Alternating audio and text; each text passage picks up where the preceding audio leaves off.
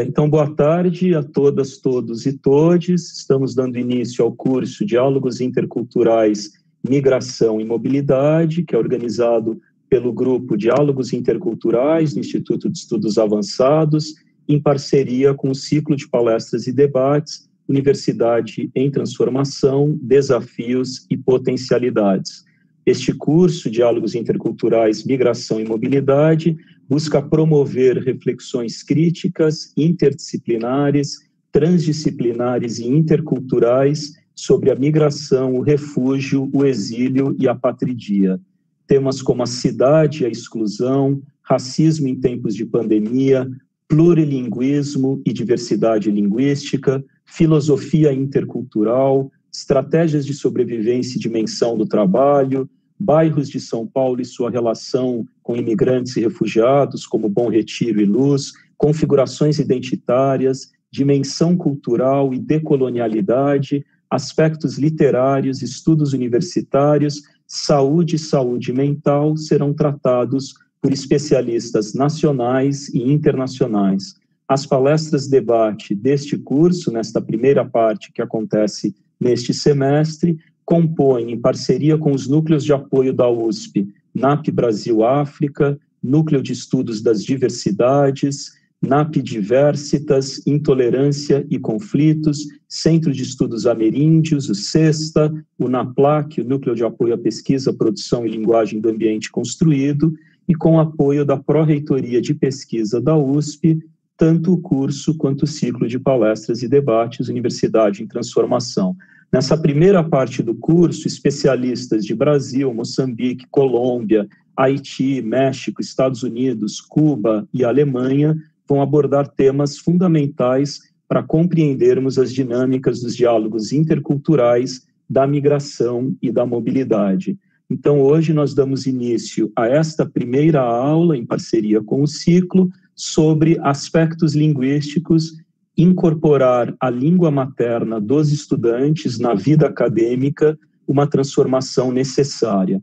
Eu me apresento rapidamente, eu sou professor na FEFELESH, na Faculdade de Filosofia, Letras e Ciências Humanas da USP, coordeno o grupo de pesquisa Diálogos Interculturais do Instituto de Estudos Avançados, coordeno o Núcleo de Apoio à Pesquisa Brasil-África da USP e também o curso de Língua Portuguesa e Cultura Brasileira para Refugiados vinculado ao programa Aprender na Comunidade da Pró-Reitoria de Graduação da USP. Eu queria então dar as boas-vindas a todos os especialistas que hoje estão conosco e com os quais nós vamos aprender muito, e vou passar a palavra ao professor doutor Valdir Heitor Barzotto, professor da Faculdade de Educação da USP, da FEUSP, com o qual desenvolvemos uma série de projetos importantes, e eh, seja muito bem-vindo, professor Valdir, Fique à vontade. Boa tarde a todos. É um prazer estar aqui com grupo reunido para discutir um tema tão importante para nós, que é a incorporação das línguas das pessoas que de fato ingressam na universidade. É, eu queria explicar rapidamente que essa, essa primeira aula do curso que o professor Paulo já anunciou, faz parte também do encerramento de uma disciplina que eu ministro no programa de Filologia e Língua Portuguesa do Departamento de Letras Clássicas e Vernáculas da FEFELESH. É, embora eu seja professor na Faculdade de Educação, eu também sou credenciado no programa de Filologia e Língua Portuguesa. E nessa disciplina, a gente vem há muito tempo se preocupando com o que é que se diz sobre a língua do outro e a gente toma a ideia de imagens de língua para pensar que imagens se formam nos discursos que falam sobre língua. E, e nós, mais ou menos, separamos os discursos, tomando vincul, eles vinculados às instituições, como igreja, é, Estado, a própria comunidade falante, e também estamos incorporando aí nos nossos estudos o que é que a universidade fala sobre as línguas. Então, essa é a ideia que a gente desenvolve na disciplina e no grupo de pesquisa que a gente está é, coordenando. Durante esse semestre, a professora Mireia participou da nossa primeira aula, esteve muito presente, a professora Tomásia também, é, e o nosso objetivo é construir um projeto internacional que estude como é que se fala das línguas nessas diferentes instâncias. E nesse, nesse momento, nesta primeira aula, nós solicitamos aos convidados é, que problematizasse um pouco uma questão que a gente tem vivenciado já há bastante tempo, que é o fato de que cada vez mais a universidade tem absorvido estudantes de diferentes grupos sociais, é, muitos estrangeiros, muitos é, refugiados, o Brasil nunca teve tantos alunos é, refugiados matriculados no curso superior, nunca teve também tantos grupos entrando por cota, e para nós fica uma coisa em aberto. É, nós queremos as pessoas e o que fazemos com as línguas dessas pessoas. É, cada vez mais nós temos essa, esse problema para enfrentar. Nós aceitamos que as pessoas entrem, mas a começar pela língua portuguesa, aquela língua portuguesa que o nosso novo aluno universitário fala, já não é mais exatamente a língua que nós queremos. Quando nós falamos em indígenas na universidade, imigrantes, refugiados, nós também, de algum modo, nós falamos que ele tem que abandonar sua língua ou usar a sua língua para as coisas do cotidiano, menos para a produção acadêmica. E quando nós vemos esse movimento de intercâmbios, de nós estamos na, na era da internacionalização da universidade, então muitos alunos vão fazer o seu semestre em outro país, nós vemos que alguns países é, só aceitam um aluno que fala inglês, como vamos citar aqui a Dinamarca, por exemplo, o aluno pode ir para a Dinamarca, mas ele tem que saber inglês, e ele vai para a turma de alunos intercambistas onde todos falam inglês e os, os, os locais não estão naquela turma. De modo que, apesar de ser muito importante a, a experiência do nosso aluno, ele não vai ter a mesma educação que o aluno daquele país está tendo, porque eles às vezes estão mesmo distantes, às vezes em prédios separados, e eles não têm acesso à mesma informação. Então, nós temos aí um conjunto bastante grande de, de questões para serem enfrentadas com relação à língua.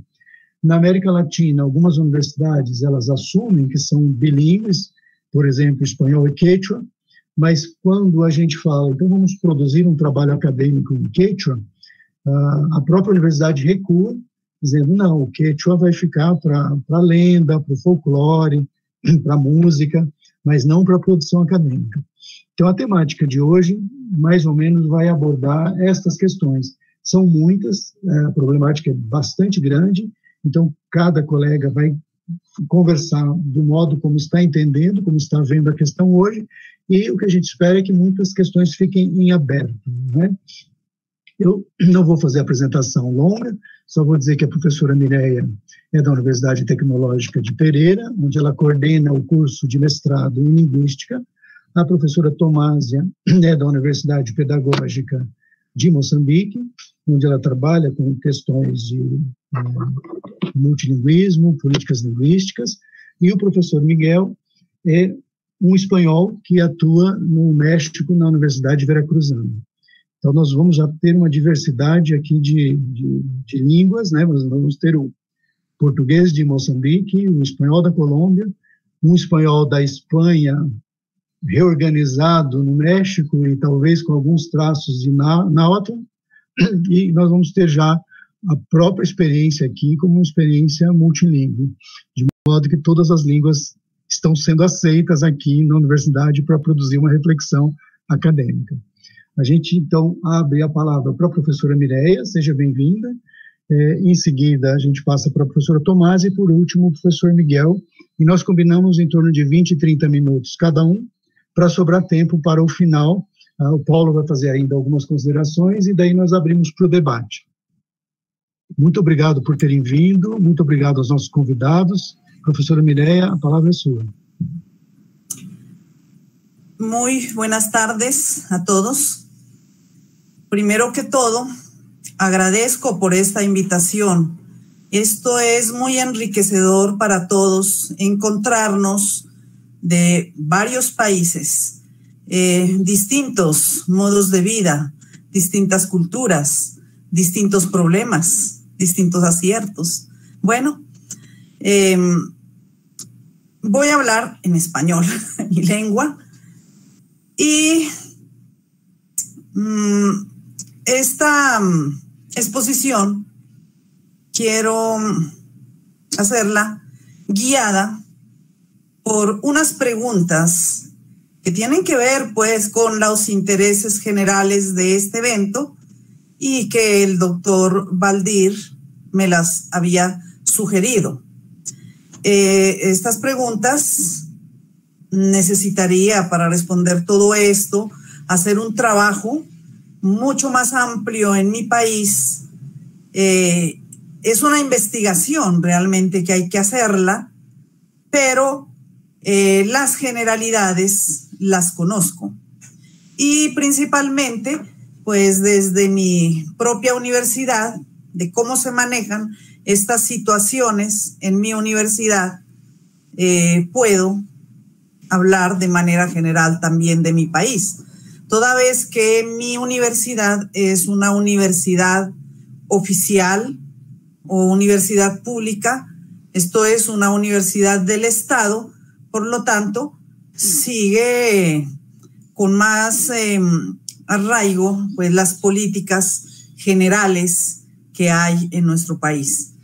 Bueno, entonces tenemos una primera pregunta, ¿sí? Que es, ¿qué políticas hay en las universidades en, un, en este momento que nosotros vivimos, donde se discute mucho en relación con la inclusión, la inmigración, las minorías. Y yo tengo que agregar también de mi país la, los desplazamientos, porque precisamente los problemas de orden público han hecho que de las zonas rurales tengan que em, llegar a las ciudades personas que no estaban preparadas para vivir en una ciudad, entonces llegan a engrosar los cinturones de miseria.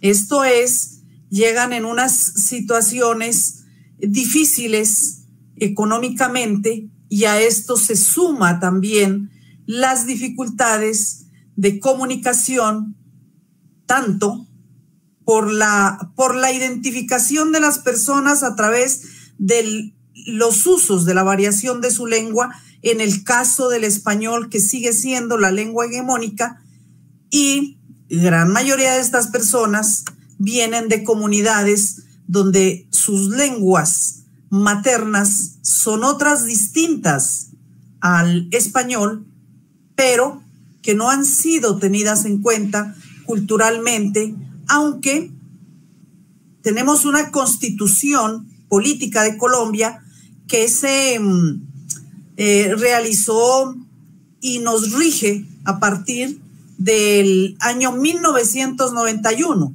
Antes de eso teníamos una constitución en el desde el 1886 en la que todavía se estaba con esas em, ideas de exclusión de em, ciertas razas, por ejemplo, eh, la lengua, la lengua allí sí declarado que era la lengua oficial el español, la religión oficial la católica.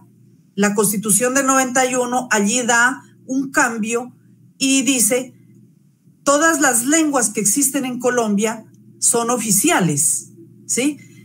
Em, sin embargo, pues está en el papel.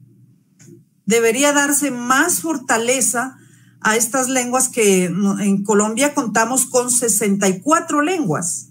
Sin embargo, sigue siendo la lengua hegemónica el español y en lugar de haber tal vez un encuentro de culturas, un contacto de lenguas, lo que encontramos es un conflicto de culturas y de lenguas. Entonces, con esta contextualización, em, tengo que decir dolorosamente que no hay una conciencia clara de lo que es una política lingüística ya en el campo de las universidades. Eh, los equipos jurídicos de las universidades pues reglamentan, aceptan casos, situaciones según lo que se presenta en la ocasión. em, se habla de inclusión, ¿cierto? Se habla de inclusión, pero la inclusión es como tener unos estudiantes de alguna región o de otra, de alguna mm, mm, de algún estrato de otro, tener también de algunas lenguas, eh, de grupos minoritarios, que así se les llama lamentablemente a los grupos aborígenes. Entonces hay representación de ellos y eso ya se cree inclusión. ¿sí? Entonces el concepto y la visión de política lingüística no es claro ni está explícito, entendiendo entonces eh, como una política de lingüística una decisión administrativa, pero de momento, a pesar de que pues la eh, en ese sentido, la constitución política, pues sí es inclusiva, digámoslo así. Entonces, bueno, a partir de allí también hay normas desde el Ministerio de Educación Nacional que se acogen obligatoriamente, ¿sí? Y se habla del bilingüismo. El bilingüismo del Ministerio de Educación Nacional se considera el manejo del español y una lengua extranjera. O sea, el bilingüismo que debería existir en nuestro país, no solo bilingüismo, sino eh, plurilingüismo con, la, em, con las distintas lenguas que hay acá, 64 lenguas, pues mm, eh, sin embargo la preocupación es por el bilingüismo y ese bilingüismo tiene énfasis es en el inglés, aprender el inglés como lengua extranjera o como segunda lengua. Entonces, allí es donde nosotros pensamos cómo nuestros estudiantes que vienen de las comunidades que tienen otra lengua, pues debería mm, aceptarse que su lengua, segunda lengua o lengua extranjera sea el español. Sin embargo, se les hace también examen de inglés y el examen de inglés se convierte pues en un requisito, sí, en un requisito para graduación.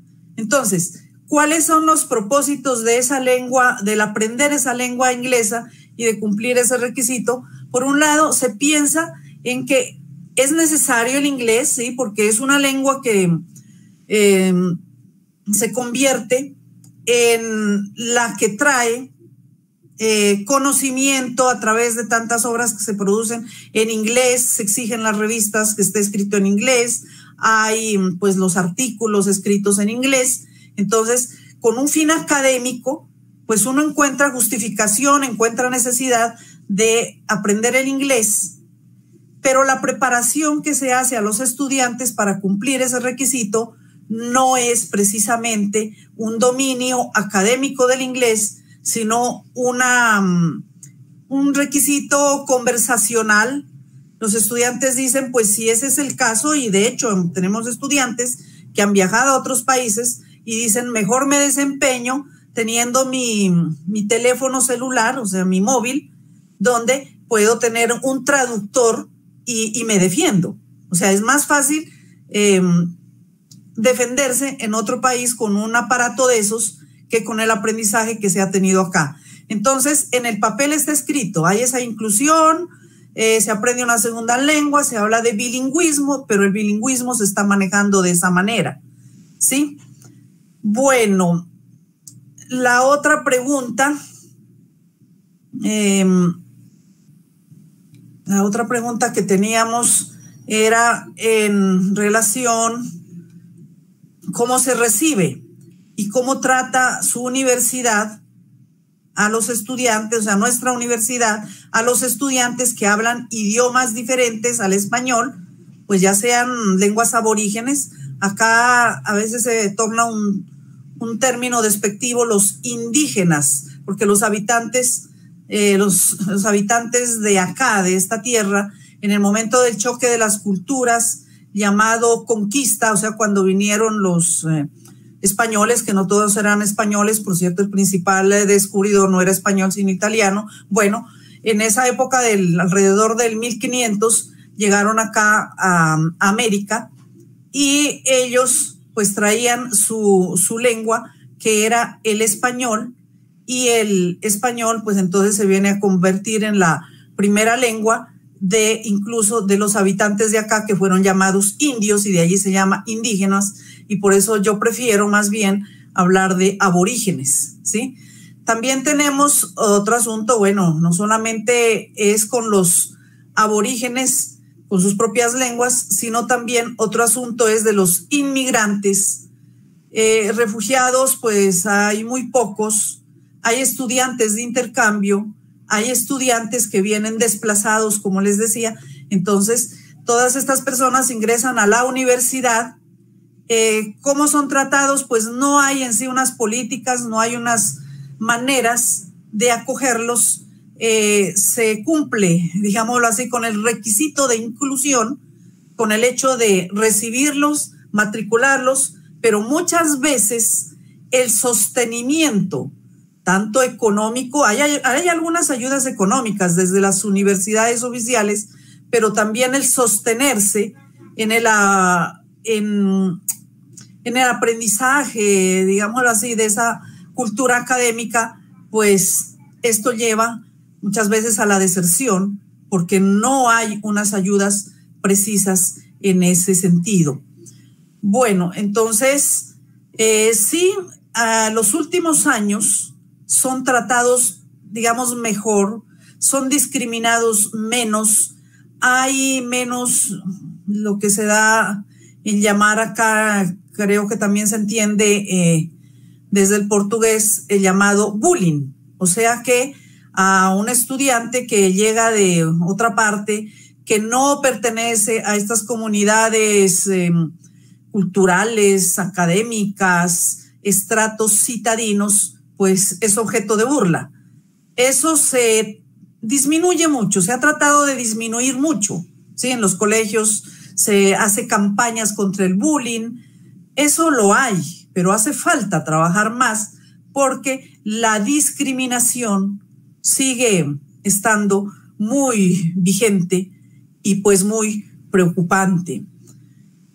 Mm, bueno, hay también, ah, bueno, siguiendo la constitución del 91, el hecho de que se recibe más estudiantes eh, aborígenes que antes. Y eso ayuda para que la universidad, por ejemplo, tenga mm, ciertos em, ayudas económicas del gobierno, ¿sí? Eh, hay mm, factores que ayudan para la llamada acreditación. Eh, esto se está manejando a nivel mundial en el sentido de que las universidades tienen que dar unos indicadores de calidad y entre esos pues también está los estudiantes, la cantidad de estudiantes de estas otras comunidades que pueden llegar a la universidad. Entonces sí, se matriculan, se ayudan, pero hay gran parte de esta población que tiene que eh, regresarse otra vez a sus lugares, no logran eh, sostenerse en la universidad. Bueno, también en nuestro país, por tener una, una lengua que sigue siendo la lengua hegemónica, el español, el español no se habla igual en todos los lugares, ¿sí? En, son distintas las variaciones de acuerdo con lugares, de acuerdo con clases sociales, e incluso variaciones de acuerdo con em, pues estratos, decimos nosotros, estratos sociales, eh, de acuerdo con eh, las formas de vida de las personas y esas variaciones a veces son más conflictivas todavía para la persona que, que tiene que ir a estudiar a la gran ciudad, porque hablando el mismo español, pues no se entiende, no le entienden los mismos profesores y antes bien eh, hay todavía esas eh, actitudes de discriminación, esas actitudes de esa especie de humillación contra estas personas. No es explícita, ahora no es explícita, pero sí está muy implícita, sí, implícita, pero que eso pues realmente sí se da. Y bueno, ¿Cómo podría, es otra pregunta que, tenemos para esto, cómo podría eh, una universidad, eh, pues eh, en esta con estas em, eh, tendencias y necesidades cambiantes, pues hacer uso de una lengua de una manera eh, más plural y que no sea la lengua el obstáculo para uno, eh, la entrada hacia las comunidades académicas, las comunidades profesionales, los desempeños en la sociedad que tengan mejores niveles de vida, pues, eh, ¿qué debería ser? ¿No? Se debería diseñar, se debería implementar políticas lingüísticas de verdad incluyentes e integradoras. Realmente eso es lo que nosotros pretendemos, ¿sí? Con las, con las miradas que tenemos desde la lingüística, desde la glotopolítica, pues para hacer de alguna manera un llamado de atención en ese sentido. Eh, ojalá con esto logremos consolidar una gran mesa interdisciplinar de participación en la que pues podamos definir una ruta para establecer el marco de qué fundamenta esas políticas lingüísticas en las instituciones de educación superior y pues se debe constituir con lingüistas, antropólogos, sociólogos, pero ante todo, los lingüistas, los maestros, somos quienes tenemos la mayor responsabilidad. Muchas gracias. Muito obrigado, professora Mireia. Muito obrigado mesmo. É, passamos então a palavra para a professora Tomásia. Fique à vontade, Tomásia. Muito obrigada. Muito obrigada pela palavra que me é concedida.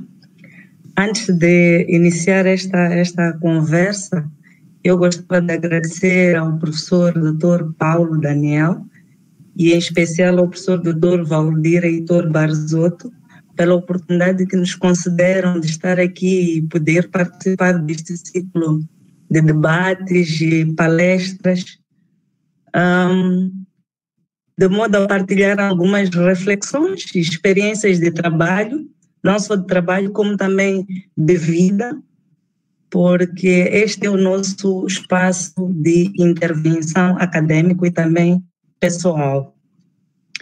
Um, Subscrevo-me também as palavras uh, da abertura da professora Mireia, quando considero esta experiência muito, muito enriquecedora. Eu partilho deste sentimento e por isso só tenho a agradecer. Bem, para refletirmos sobre como é que as línguas faladas pelos estudantes pertencentes a grupos linguísticos indígenas, imigrantes ou refugiados são incorporados na rotina da universidade em Moçambique, eu começaria por vos convidar a ouvir um breve panorama, mas será mesmo breve, do contexto moçambicano linguístico e cultural. É uma espécie de ponte para chegarmos a esta descrição do que, é que acontece na universidade.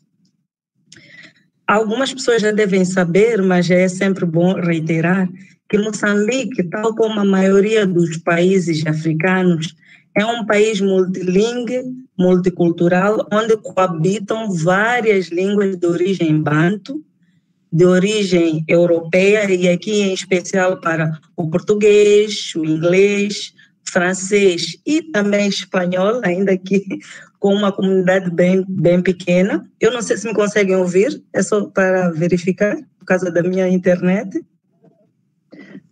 Ouvimos muito bem, professora Tomásia. Está ótimo. Muito obrigada. Obrigada. Então, dizia que eh, neste espectro de diversidade multicultural e multilinguística, há coabitação de várias línguas de origem banto, mas não só, há também de origem europeia, como português, inglês, francês, espanhol, e também algumas de origem asiática e do Médio Oriente, como mandarim, urdu, o guirati, hindi e memani. No entanto, nenhuma destas línguas é extensiva a todo o território moçambicano. E para o caso específico das línguas banto, que são endógenas ao contexto moçambicano, elas não têm uma escrita, na sua maioria, padronizada. sendo que o, seu acervo bibliográfico também não era suficientemente desenvolvido para poder sustentar o processo de ensino, de aprendizagem e de comunicações oficiais do Estado. Depois da independência, houve a necessidade de se escolher uma única língua que servisse de comunicação, e neste contexto escolheu-se o português, que apesar de ser uma língua minoritária, falada por 1,2% da população, e esta população localizada nos centros urbanos e elitizada era a única que abrangia o todo o território nacional. Ela foi assim adotada como língua oficial do país e foi considerada a língua uh, de unificação, língua do símbolo de unidade nacional. O que, que acontece ao nível da, da, da, da, da educação? E, e, e, passo aqui a citar uma, uma frase de, de uh, que também já esteve neste ciclo, o professor Valder deve, deve conhecer muito bem. Aqui, desculpa, passo a citar, este dado histórico explica, em parte, o porquê das discrepâncias entre a assumida e formalmente inexistente política linguística de Moçambique, eminentemente lusocentrista, que exclui a participação das línguas africanas na vida pública dos moçambicanos e de outros países da região, para os quais é inconcebível que uma política linguística de um país africano não incorpore ou não contemple a participação ativa das línguas africanas.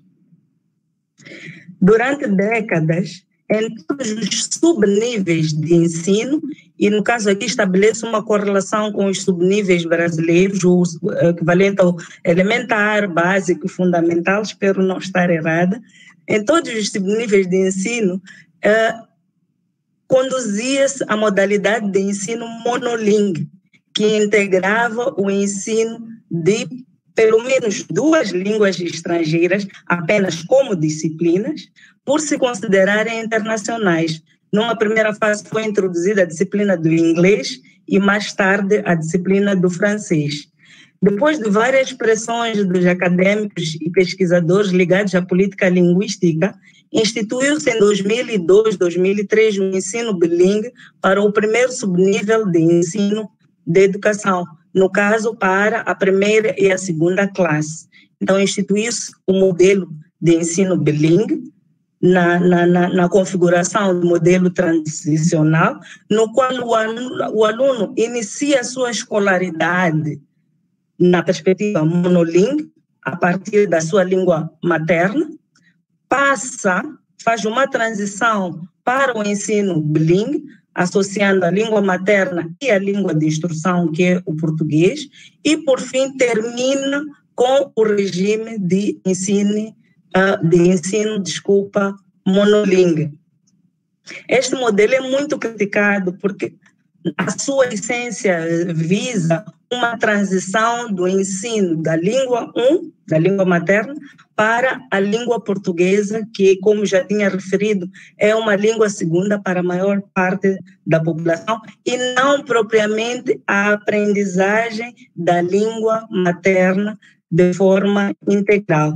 Tal é que a partir da, décima, da, terceira classe, da terceira à décima segunda classe, outras línguas, as línguas banto, no caso, aparecem apenas no currículo uh, de forma muito uh, extemporânea e, na maior parte dos casos, uh, como opcionais.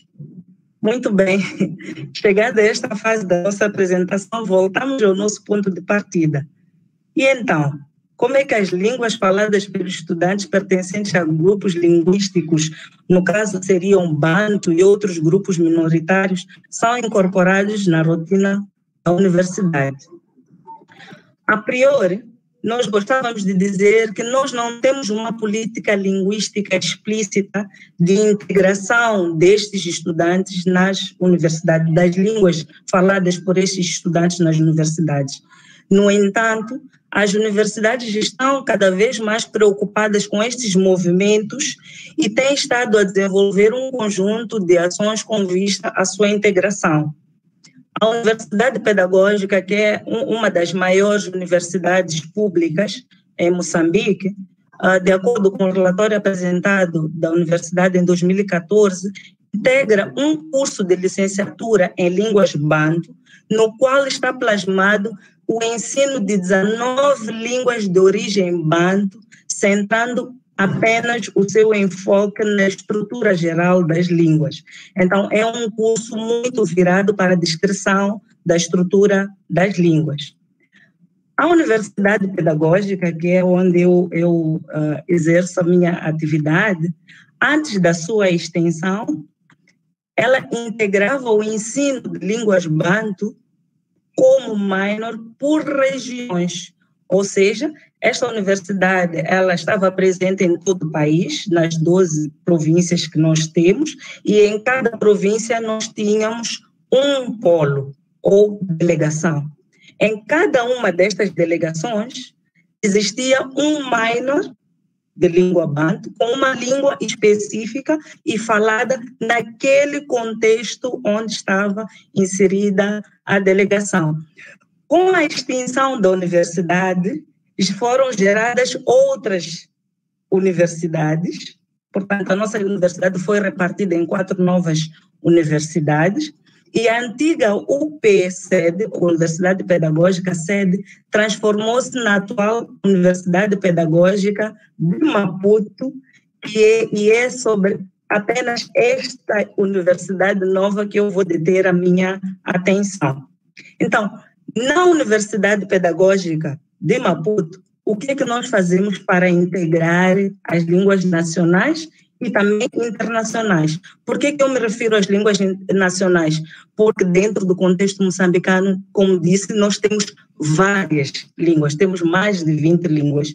Então, aqui neste polo, Maputo, como é que nós fazemos para integrar estas diferentes línguas que são verificadas ao longo do país?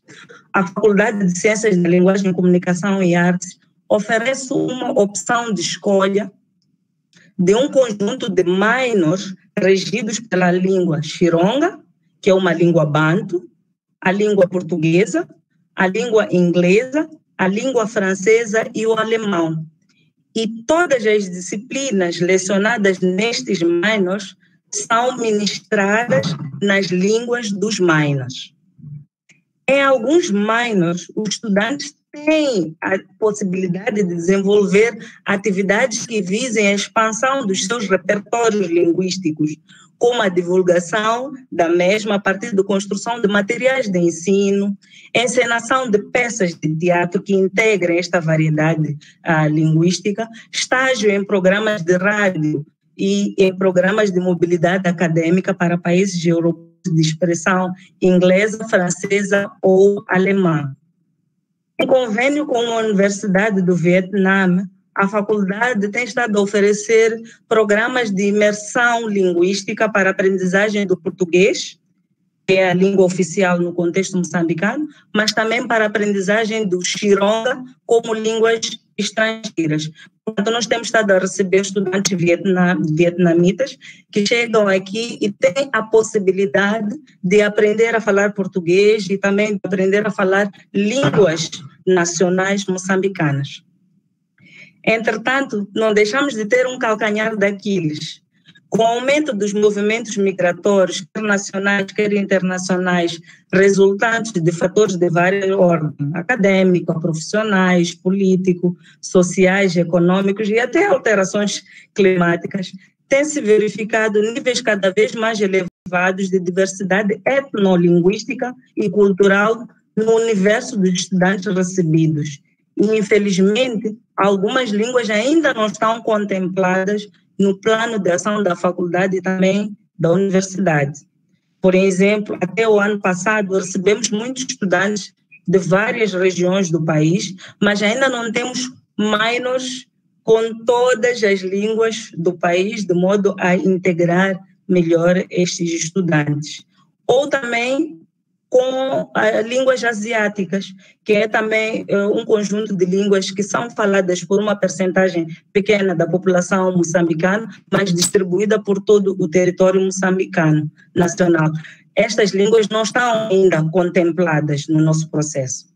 Recebemos estudantes vietnamitas e também de alguns pontos de África, no caso eh, dos pontos de África, são refugiados, muitos deles congoleses e nigerianos, mas ainda não temos um plano de oferta de cursos nas línguas destes estudantes, o que poderá vir a representar um risco, no nosso entender, para as suas línguas de origem, especialmente se não ocorrer uma transmissão linguística familiar entre as gerações.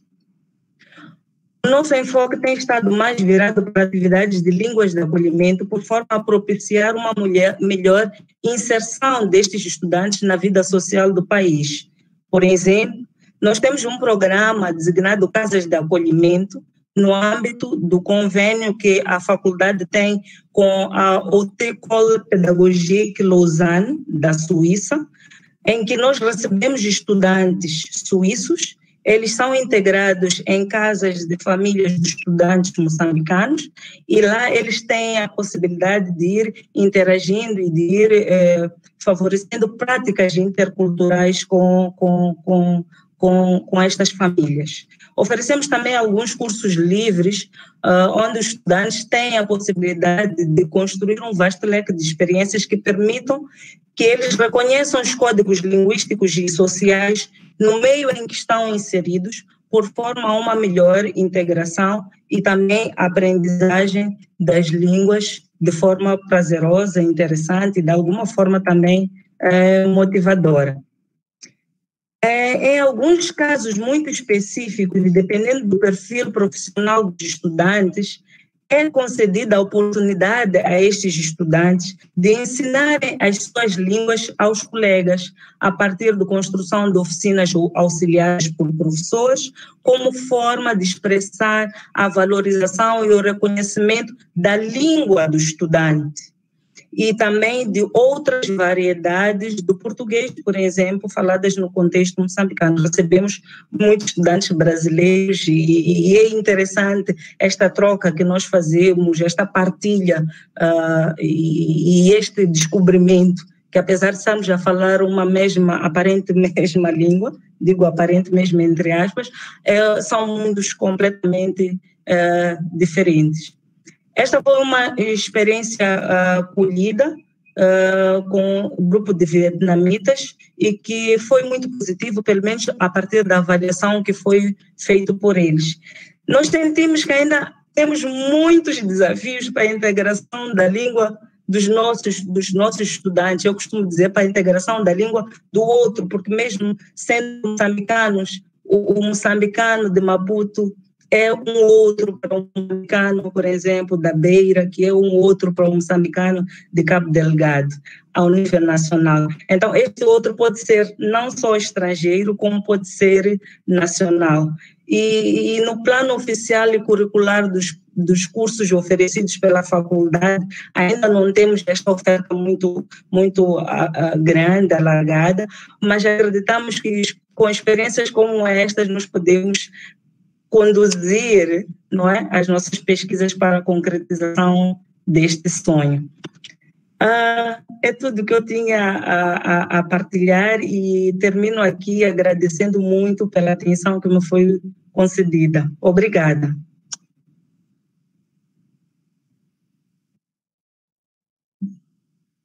Muito obrigado, professora Tomásia, muito obrigado mesmo. É, passamos então imediatamente para o professor Miguel Figueiredo. É, muito obrigado pelo convite. É, uma desculpa, porque eu não, não, não falo português. Vou falar em castelhano, em espanhol, e intentaré hablar despacito, porque a gente de Espanha habla muito rápido e não cuesta fazer o ajuste de comprensión entre eh, lenguas romances. si no me hacen señales. Bueno, el tema que están eh, mencionando, como ha dicho eh, la doctora Mireya, la doctora eh, Tomasia, mm, tiene elementos muy parecidos, pero también tiene elementos muy particulares.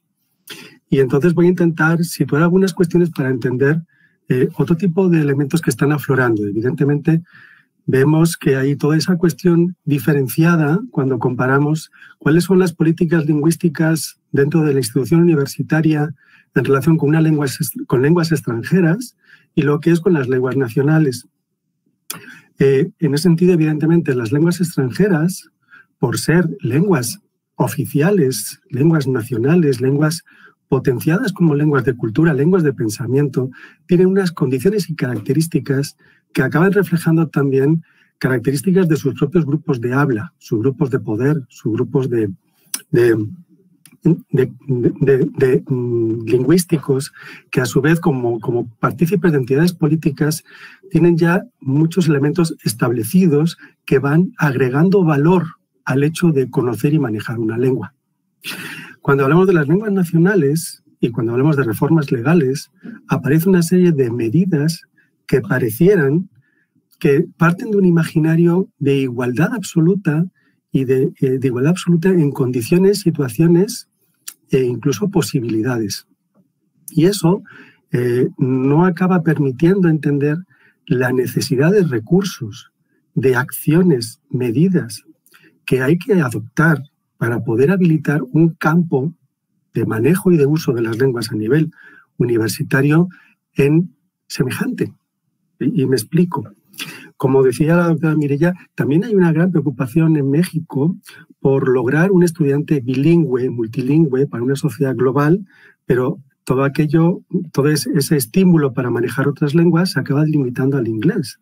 Es decir, aquí también el inglés es un requisito para la licenciatura, también el inglés es un requisito para el acceso a los posgrados eh, y, por otra parte, eh, se está concibiendo siempre eh, esa relación o eh, ese planteamiento de que el conocimiento de complementario, lo que puedo aprender y complementar mis estudios o mis investigaciones es en espacios universitarios extranjeros donde el inglés se va a usar.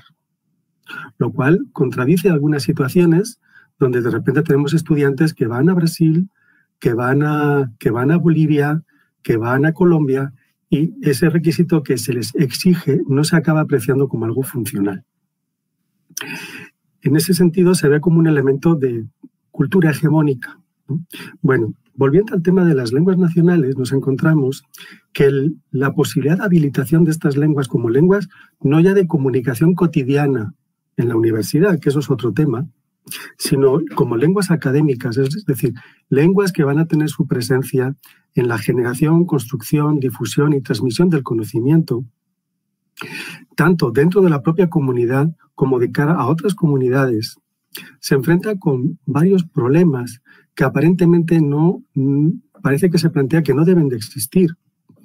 El problema que tenemos muchas veces es esa especie de agravio comparativo y que tiene que ver también con un contraste con lo que ahora se les dice que es un mundo de posibilidades ante el nuevo imaginario que se estableció a partir de 2003, donde se aprobó la Ley General de Derechos Lingüísticos de los Pueblos Indígenas de México. Es decir, desde el 2003, un mexicano que no, eh, no necesite, no quiera o no pueda comunicarse en español y, y pueda comunicarse en una lengua nacional en este caso se corresponderían con las lenguas indoamericanas que se hablan en el territorio, tendría eh, la administración pública la obligación de facilitar todo tipo de comunicación, intercambio en la lengua en la que solicita. Por eso se habilitó todo un sistema de interpretación y traducción a nivel administrativo que está en marcha y se está conformando. Se crearon instancias como el Instituto Nacional de, eh, Instituto Nacional de Lenguas Indígenas, eh, de México y se han ido habilitando otro tipo de, de instancias a nivel estatal. Eh, con esto se diría que hay un intento de una política que vaya incentivando, no incentivando, sino protegiendo y amparando una gradual transformación del Estado mexicano en un Estado pluricultural multilingüe. Sin embargo, aquí hay que tener en cuenta cómo es la situación. La situación es que tenemos una diversidad lingüística amplia. En nuestra universidad tenemos podemos tener hasta hablantes de 17 grupos eh, lingüísticos que, pueden que son reconocidos como lenguas nacionales. Es decir, ese es un, ese es un hecho. Eso, diríamos, hace que la ley tenga un sentido de aplicación. Por otra parte, eh, lo que vemos es que eh, no es un elemento de exclusión, o digamos, la sociedad mexicana no lo quiere ver así no lo quiere ver así y es cierto, la sociedad mexicana ha ido cambiando y no se manifiesta de ese modo. Pero el problema que tenemos es que muchos estigmas, muchas situaciones y situaciones, digamos, reales en cuanto a las características del, grupo como grupo hablante, se han visto muy afectadas por todas estas décadas y siglos de discriminación, de exclusión, de estigmatización de ser hablante de la lengua y de positivización de ser hablante del español. ¿Qué ocurre? En cierto modo parece como que el sistema educativo se ha generado un esquema de extremos. Es decir, hay una educación inicial, eh, primaria indígena, que luego va a dar paso a una educación media y superior no indígena, y de repente nos encontramos que estamos intentando generar una educación con posibilidades del uso vehicular o del uso eh, de estudio y de comunicación en estas lenguas en los extremos más amplios. Es decir, hablamos de posgrado, y de eh, licenciaturas, más bien de posgrados, en cierto modo. Licenciaturas, ahora explico. ¿A qué me refiero?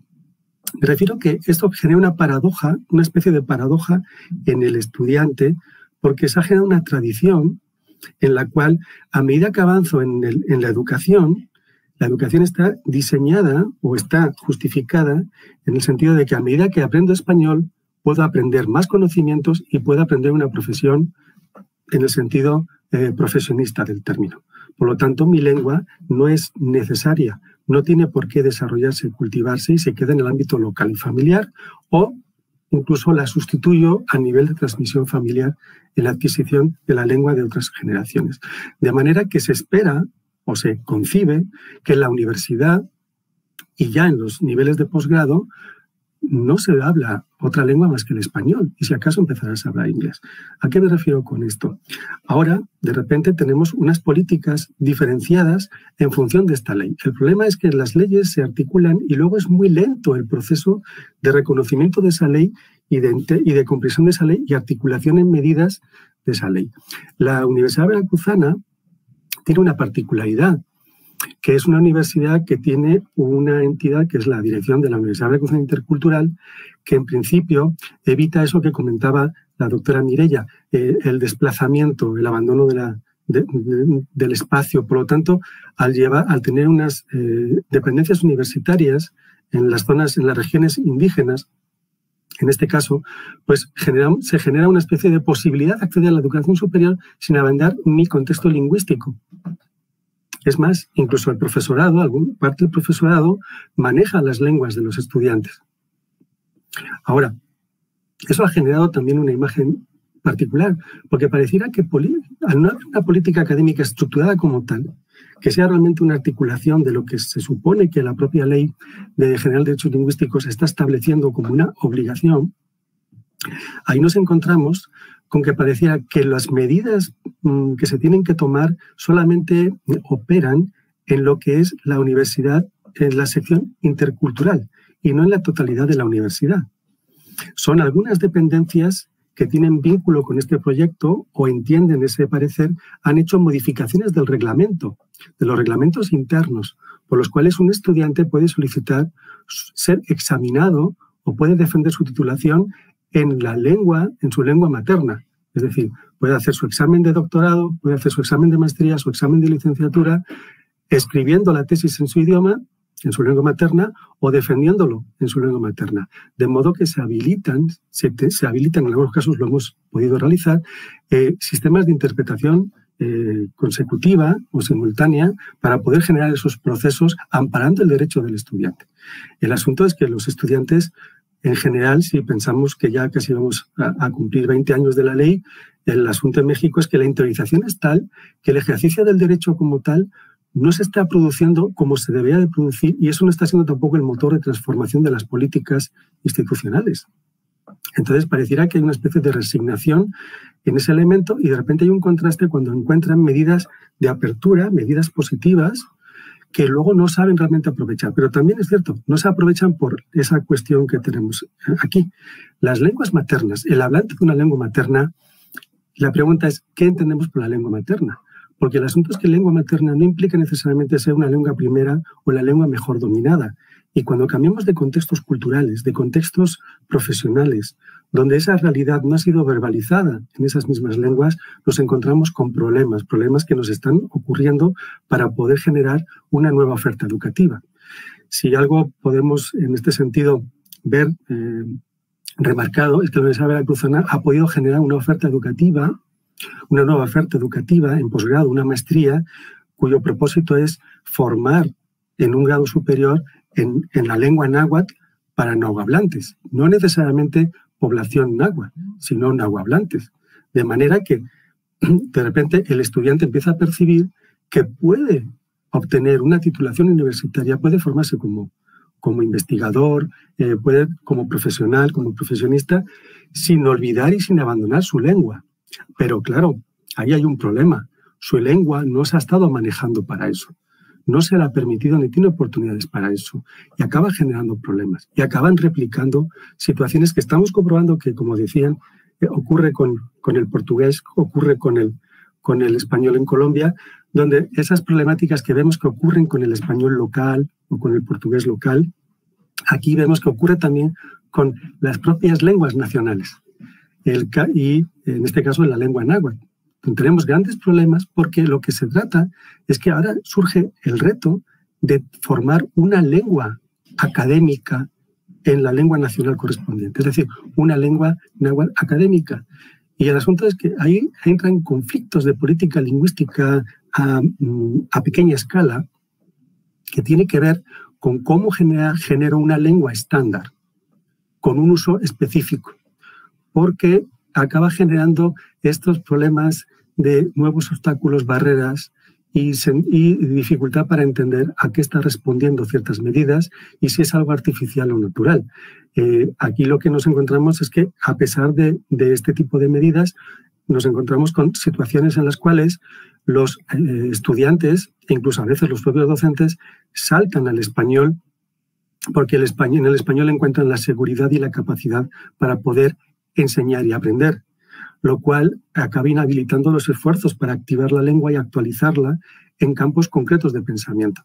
También hay que decir y hay que explicar que la puesta en marcha de esta maestría ha coincidido con la pandemia y eso ha generado dificultades añadidas que tienen que ver con la comunicación virtual, lo cual no permite otro tipo de, estrategias para poder enriquecer y ampliar, ampliar, la lengua. Pero acabamos viendo también la aparición de prejuicios hacia hablantes de variedades de la lengua de otras localidades o de otras regiones.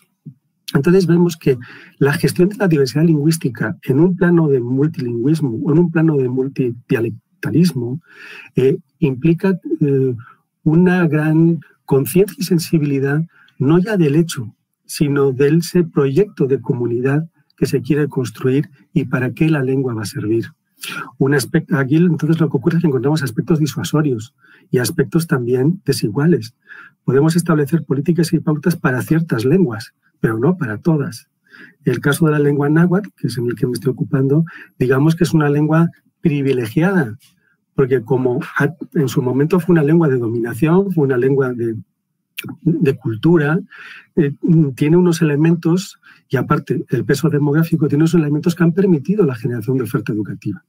Pero lo que no, no pero esa cuestión que es una ventaja no la obtienen otras lenguas donde, por ejemplo, no encontramos los docentes que hablen esas lenguas, los materiales que se pueden hacer en esas lenguas y estudiantes que manejen esas lenguas a un nivel no solamente oral, sino también lectoescrito.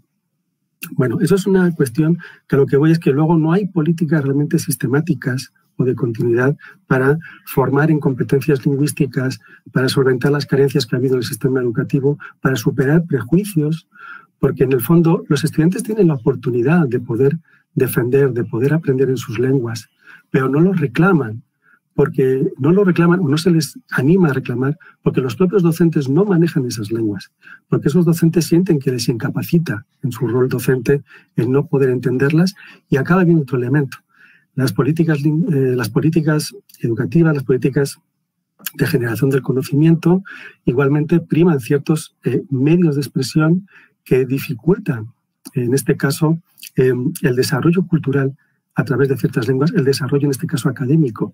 Me refiero, por ejemplo, al tema de las publicaciones. Ese es un tema muy interesante, porque hay académicos, hay investigadores, hay estudiantes que quieren publicar sus trabajos en su lengua materna, pero desde el hecho de que la lengua materna no, no tiene cabida en las revistas que tienen valor para la cuestión académica, acaba disuadiendo el usar esa lengua y al final se acaba hasta primando publicar en inglés trabajos que la comunidad no puede entender ni acceder por estar escritos en esa lengua. ¿no?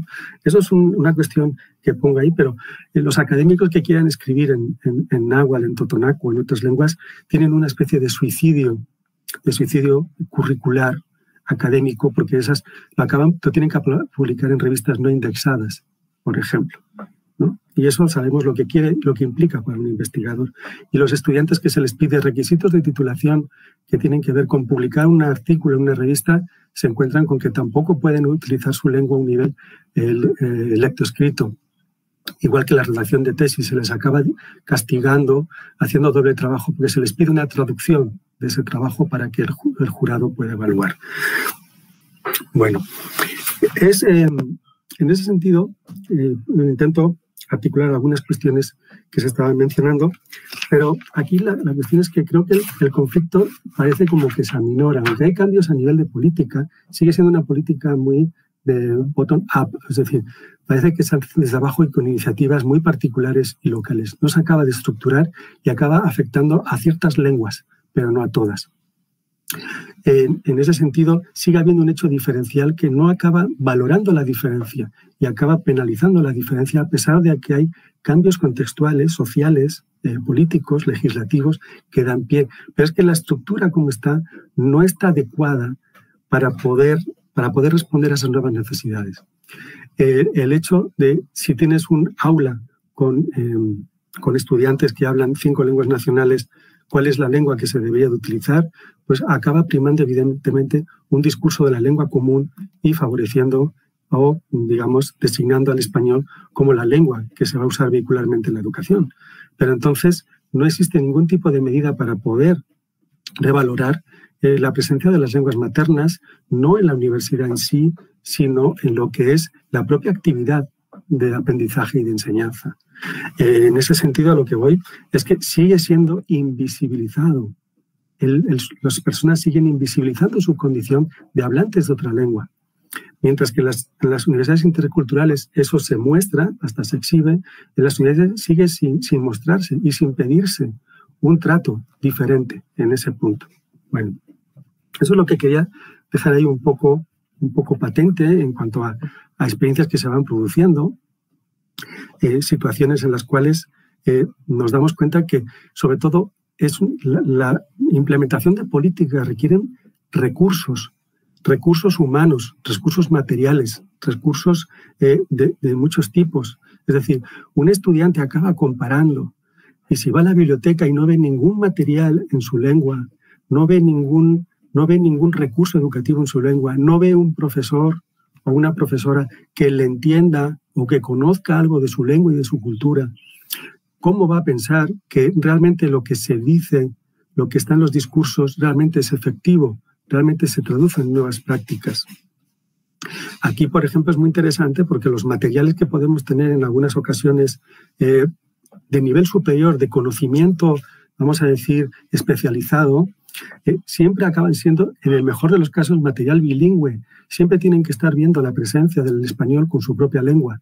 Y aquí nos enfrentamos con las carencias educativas y las carencias de desarrollo. Lo que nos encontramos es que los estudiantes acaban trabajando sobre lo que está escrito en español, porque tampoco ha habido un desarrollo de lectoescrito en su propia lengua materna. Hay una especie de diglosia escrituraria. Leo el español, escribo en español, no leo no leo en español, perdón, en, náhuatl, por ejemplo, no escribo en náhuatl, pero puedo hablar en náhuatl y me dificulta hablar en, español. Entonces son situaciones muy diferenciadas. No es fácil hacer un diseño educativo para un, en este caso, un hablante de una lengua nacional, porque cada, hay muchos tipos de hablantes. Hay gente que a los 15 años recupera su propia lengua su lengua materna, hay gente que la tiene desde niño, hay gente que aprende a escribirla, hay gente que aprende a manejarla más de modo oral, pero en cualquier caso vemos que eso dificulta mucho empezar por los niveles superiores o los niveles más extremos de la, educación universitaria, porque hay que hacer todo un trabajo de un, trabajo de compensación, de desarrollo, de reactivación de todo lo que tenían, se supone que tienen que haber aprendido. Pero lo, peor de eso es que todos esos elementos negativos no se interpretan como desafíos para ir mejorando y completando y generar esa relación, eh, digamos, esas condiciones, vamos a decir, más, más semejantes para poder empezar a equiparar, ¿no?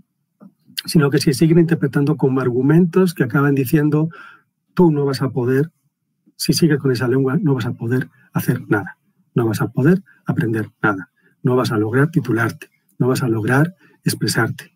Y ese es un fantasma que hay. Esa es una cuestión que ha ocurrido con esa estigmatización, esa profecía autocumplida, en la propia incapacitación del hablante para hablar su lengua, para convencerle de que está, ha nacido y está capacitado para hablar la, para hablar la lengua del otro.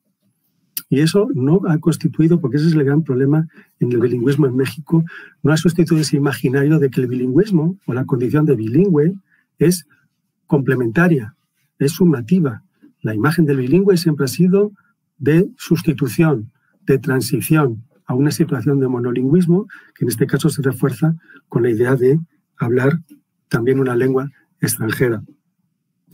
Bueno, eh, en, ese sentido, se acaban siendo medidas particulares. No hay, no hay una oferta general de aprendizaje de estos idiomas ni como lengua primera ni lengua segunda en la educación superior, aunque hay iniciativas y hay hechos, pero por ejemplo nosotros tenemos eh, cursos de lengua náhuatl, por ejemplo, pero en la escuela de, para estudiantes extranjeros, donde se supone que un, un estudiante extranjero aprende español, lo cual pues acaba siendo muy relevante de cómo, de dónde están los huecos, dónde están los espacios donde se puede implementar algún tipo de medidas, pero evidencian que no hay una política, en este caso, dirigida al aprendizaje de las lenguas nacionales, tanto por población nacional, población autóctona o hablante de estas lenguas, para su mejor y desarrollo a un nivel más especializado de la lengua, o también para eh, extranjeros que, para sorpresa de algunos, vienen a México a aprender no solo español, sino otras lenguas que entienden que se hablan en el país y es parte de su patrimonio cultural. Bueno, aquí es cierto que se han implementado otro tipo de medidas para ir, un poco cerrando y abrir un poco la discusión.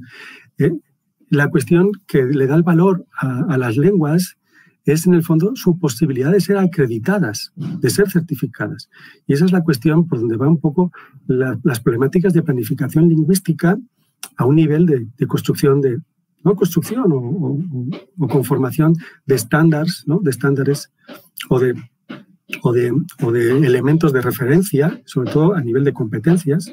Y, por ejemplo, en la Universidad Custana, pues ya se empezó, ya se diseñó, se fue se implementando el EXANA, que es un, un, un examen de, de, de, desarrollo de nivel del manejo de la lengua náhuatl. Precisamente es lo que ha permitido hacer los procesos de selección para entrar en la maestría, en esta maestría de lengua y cultura náhuatl. Eso es, una cuestión muy importante. No es una cuestión solamente de elevar el estatus, sino de hacerlo funcional en un mundo que no puede huir de ciertas reglamentaciones, regulaciones y formas de normalización. Es decir, aquí el problema que tenemos es que, ¿cómo acredito que soy, eh, ¿cómo acredito que soy hablante? Pensando en un hablante de la lengua materna. Porque yo quiero que se me valore esta lengua, por ejemplo, a nivel de concursos o oposición. Tenemos profesores, por ejemplo, necesitaríamos recursos de profesores que hablaran náhuatl, pero no podemos eh, valorar su nivel de competencia a nivel docente. Igualmente, a nivel de contratos, a nivel de concursos, no se puntúa ese conocimiento. Se acaba puntuando si sabe inglés para una plaza en la que va a tener que hablar en, totonaco con los estudiantes. O sea, ahí vemos ciertas contradicciones.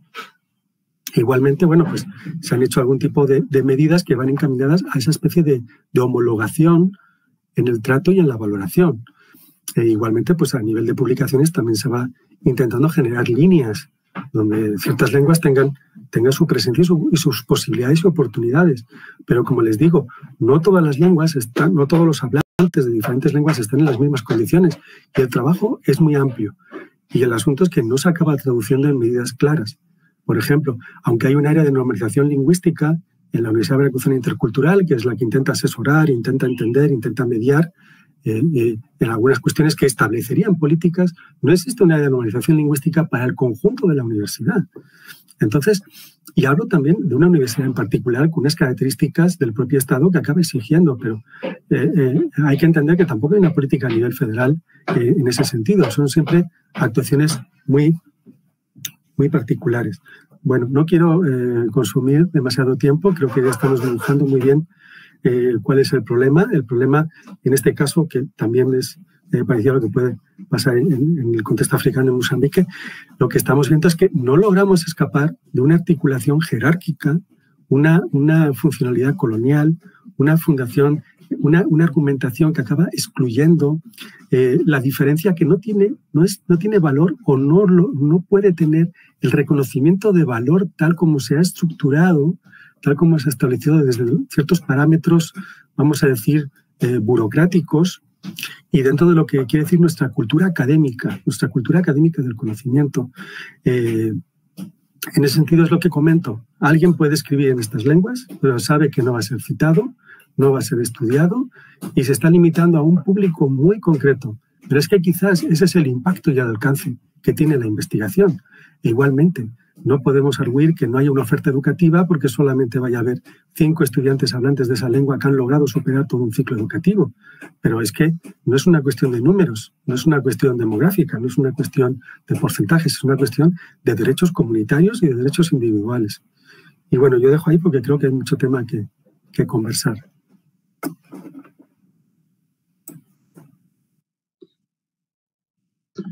Muito obrigado por Oi. O professor agora vai fazer as considerações dele e em seguida a gente faz o debate. Perfeito. Eu queria agradecer muito a todas as falas da professora Mireia, da professora Tomásia, do professor é, Miguel, do professor Valdir, todas é, falas fundamentais. Eu queria comentar um pouco um aspecto que é, acho que chamou a atenção de todos nas nas três exposições dos professores com contextos distintos, né, Colômbia, México, Espanha e Moçambique, mas acho que tem convergências bem, bem marcadas em relação, por exemplo, a uma supervalorização de uma língua, do inglês, em detrimento de, de uma diversidade linguística necessária né, para a produção do conhecimento. Então, acho que inicialmente eu pensei em comentar que a gente percebe uma necessidade de promover uma decolonização do pensamento também em aspectos linguísticos, ou seja, é necessário valorizar línguas do continente americano, né, da América do Sul, Central, América do Norte, da África, da Ásia, é, da mesma forma que não é possível que prevaleça uma perspectiva eurocêntrica, é necessário valorizar e incorporar na academia essas línguas não indo-europeias. Né? É, eu acho que vale a pena a gente é, mencionar brevemente a Gayatri Spiva, que diz no Pódio Subalterno Falar, que o subalterno é aquele cuja voz não pode ser ouvida. E ela diz que se ele não fala na sua própria língua, de fato, a voz dele não é ouvida, não é escutada e levada em consideração. E ela dialoga com o Polão Tonde, por exemplo, para alertar para o perigo de que essas populações, as populações indígenas, arborígenes, populações originárias, as populações refugiadas, as populações migrantes, é, elas sejam vistas apenas como objetos de conhecimento por parte dos intelectuais e não sejam consideradas produtoras de conhecimento. Então, acho que tem uma, uma convergência nas falas em relação à necessidade né, dessa decolonização também nos aspectos linguísticos, e acho que nessa relação com refugiados e imigrantes, isso é fundamental para que haja uma relação de diálogo horizontal, de compartilhamento de conhecimento, é necessária que essas línguas sejam incorporadas e, e valorizadas. Eu pensei em citar alguns breves exemplos também que eu considero positivos em relação a essa, a essa integração. Por exemplo, a professora Tomásia citou muito bem né, a questão da importância das línguas banto E em todos os países aqui abordados, no México, na Colômbia, é, em Moçambique, a gente tem uma presença cada vez maior de refugiadas, refugiados, imigrantes e a necessidade também de aprender e de incorporar essa diversidade linguística. Então, eu queria inicialmente citar uma iniciativa é, da Bibliaspa, né, da Biblioteca Centro de Pesquisa América do Sul, Países Árabes e África, que há muitos anos tem um programa no qual os refugiados e as refugiadas ensinam as suas línguas e culturas, então é uma ação que ajuda a promover é, é, conhecimento da e relação com a interculturalidade, com a alteridade e beneficia muito a sociedade brasileira, que infelizmente sabemos que o Brasil ainda é um país muito apegado à língua portuguesa, com pouco reconhecimento da diversidade linguística no seu território, né? E aí a gente vai é, poder falar também um pouco da discussão das línguas originárias no Brasil, mas esse é um programa que tem promovido bastante interesse, bastante mudança. Eu citaria, por exemplo, o ensino de língua wolof, cultura senegalesa, língua árabe, língua e cultura árabe, língua é, crioulo haitiano e cultura haitiana, língua francesa e cultura africana, língua inglesa e cultura nigeriana. Foram muitos os, as, as possibilidades testadas e com, e com bastante, é, bastante poder de transformação. Uma outra iniciativa é, breve, no contexto da universidade, em seguida eu vou mencionar algumas perguntas que estão no chat do YouTube, há muitos comentários, muitos elogios às falas e também muitas perguntas, e a gente vai fazer ao menos algumas dessas perguntas para promover o debate, mas eu citaria, é, é, como a professora Tomásia é, mencionou muito bem, né, a gente tem uma presença, uma diversidade, aliás, é uma outra, um outro ponto convergente, claro, entre as três exposições, é essa diversidade linguística nos três países abordados. Então, a importância de lidar com essa característica que é a presença de várias línguas nesses países. E aí eu citaria alguma, algumas iniciativas de internacionalização que podem ser consideradas pontuais, mas que talvez nos ajudem a pensar um pouco. Então, por exemplo, no Núcleo de Apoio à Pesquisa Brasil-África, o site atual do núcleo está em sete línguas. Então, temos quatro línguas indo-europeias e três línguas não indo-europeias. Então, além das línguas indo-europeias, português, espanhol, francês e inglês, nós temos o site em Lingala, em Kiswahili e em árabe. E uma outra iniciativa importante, e eu queria também já deixar uma primeira pergunta a todos os professores, é em relação um pouco aos programas de pós-graduação. Nós temos de, de um lado a graduação, a necessidade, eu concordo com todos, de ensinar essas línguas também na graduação. Claro, é interessante também como cursos diversos, como, como foi mencionado, mas eu queria também perguntar à professora Mireia, a, ao professor Miguel e à professora Tomásia, em relação aos programas de pós-graduação, se há iniciativas que vocês queiram destacar nas suas universidades, e eu aproveito para citar uma iniciativa que eu acho que vai ao encontro dessa tentativa de decolonização e dessa tentativa de inclusão, que é o caso do programa de pós-graduação em Humanidades, Direitos e Outras Legitimidades da USP.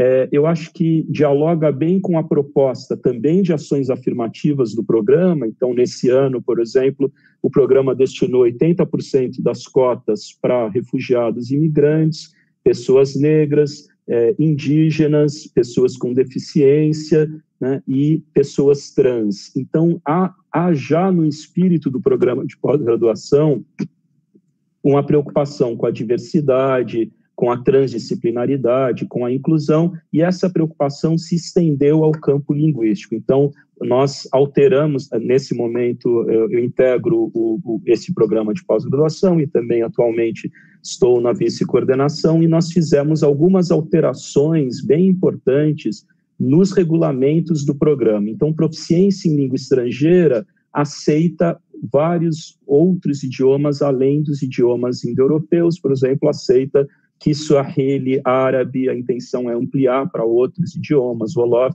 Naturalmente, ao fazer essa transformação, é preciso que haja pessoas capacitadas para corrigir essas provas e para implementar essas questões. Uma outra questão é que os estudantes declarados ou autodeclarados indígenas, eles, e ao ingressarem por políticas de ação afirmativa, eles ficam isentos de realizarem exames de proficiência em língua estrangeira.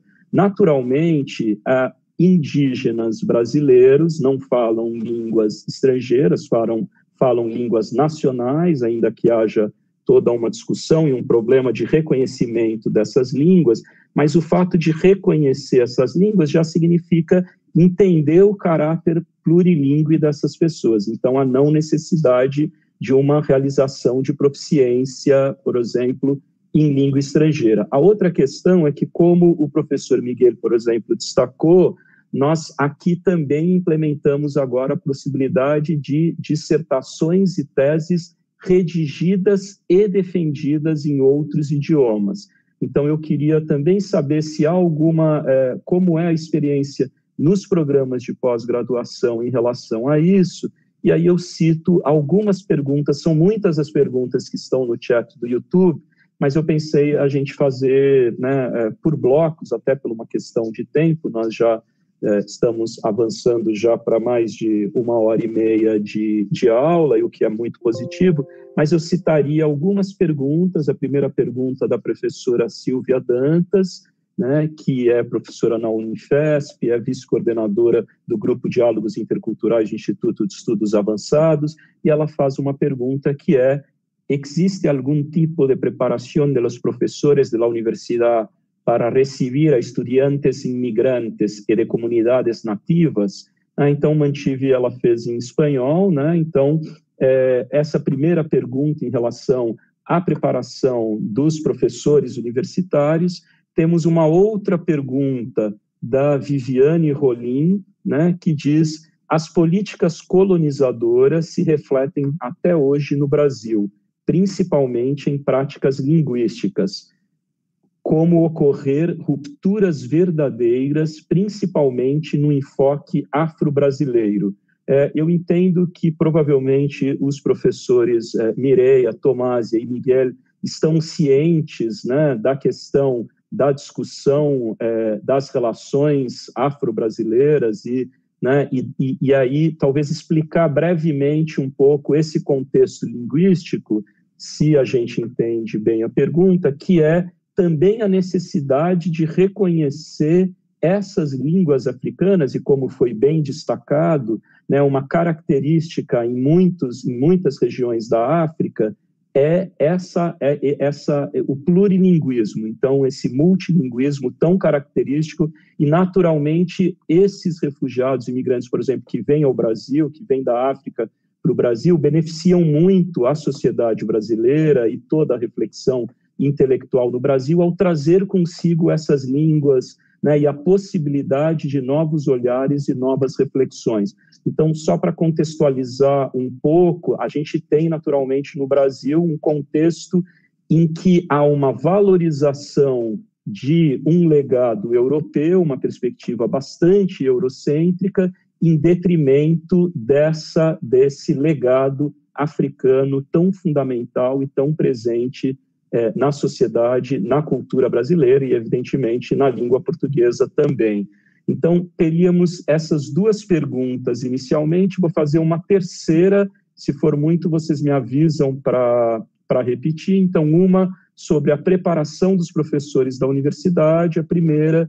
A segunda, a questão, de um lado, de políticas colonizadoras e a sua relação com as práticas linguísticas e como promover ruptura, como promover câmbio, mudança nessa atitude linguística. E, por, e mais uma pergunta, são muitas, a gente selecionou algumas, mais uma de Krishna Bonjardim da Silva Carmo, que diz como podemos implementar essa incorporação da língua materna dos estudantes objetivamente no cotidiano da vida acadêmica considerando o nosso contexto, currículo em vigência, despreparo dos professores e falta de conhecimento destes sobre essas línguas. né? demandas desses professores em outras atividades da universidade, considerando esse cenário, se hoje um estudante indígena, falante de uma língua como catuquina, como deveríamos proceder? Então, é, entender um pouco, talvez vocês queiram citar mais algumas iniciativas das suas universidades e talvez recomendações para as universidades para lidar com, com, com esses aspectos linguísticos e para promover inclusão linguística e combater é, o preconceito linguístico. Né? Eu acho que o professor Miguel acenou um pouco é, também é, como uma resposta a, a, essa pergunta já anteriormente, né? explicando que parte dos professores universitários naturalmente fala a língua desses estudantes, mas queria ouvi-los um pouco mais sobre essas questões e os comentários feitos, por favor.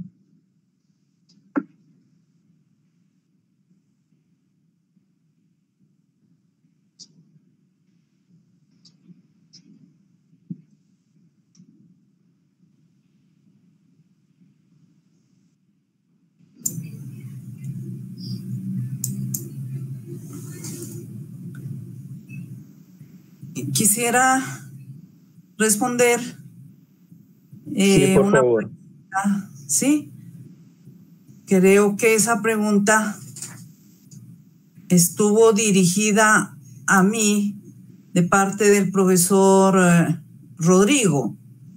Sí, entiendo que me pregunta que cómo los estudios eh, multiculturales o glotopolíticos son tratados dentro de los cursos que los profesores dictan, decimos nosotros, em, eh, o, en, o, se, o están en un eh, espacio específico dentro de las disciplinas.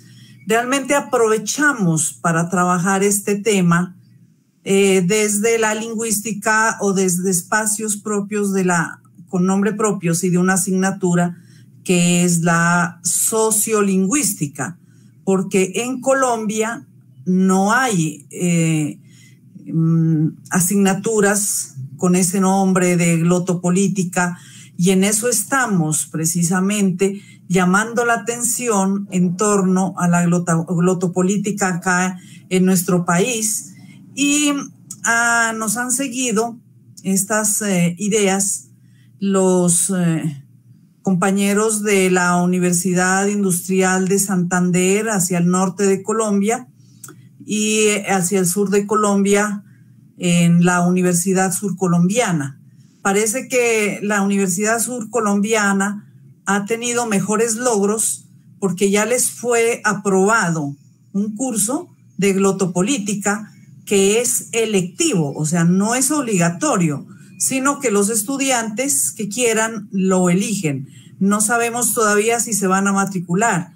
En mi universidad eh, estoy precisamente trabajando en ese diseño y más que eso, estoy buscando la manera de que se permita dar algunos cursos, sí, directamente de glotopolítica, pero mientras tanto, pues lo hacemos desde la sociolingüística y eh, parece que ah, ha tenido bastante eco eh, una obra que publicamos desde nuestro grupo, que es sociolingüística, enfoques pragmático y variacionista, de alguna manera ha, llamado la atención en torno a esto.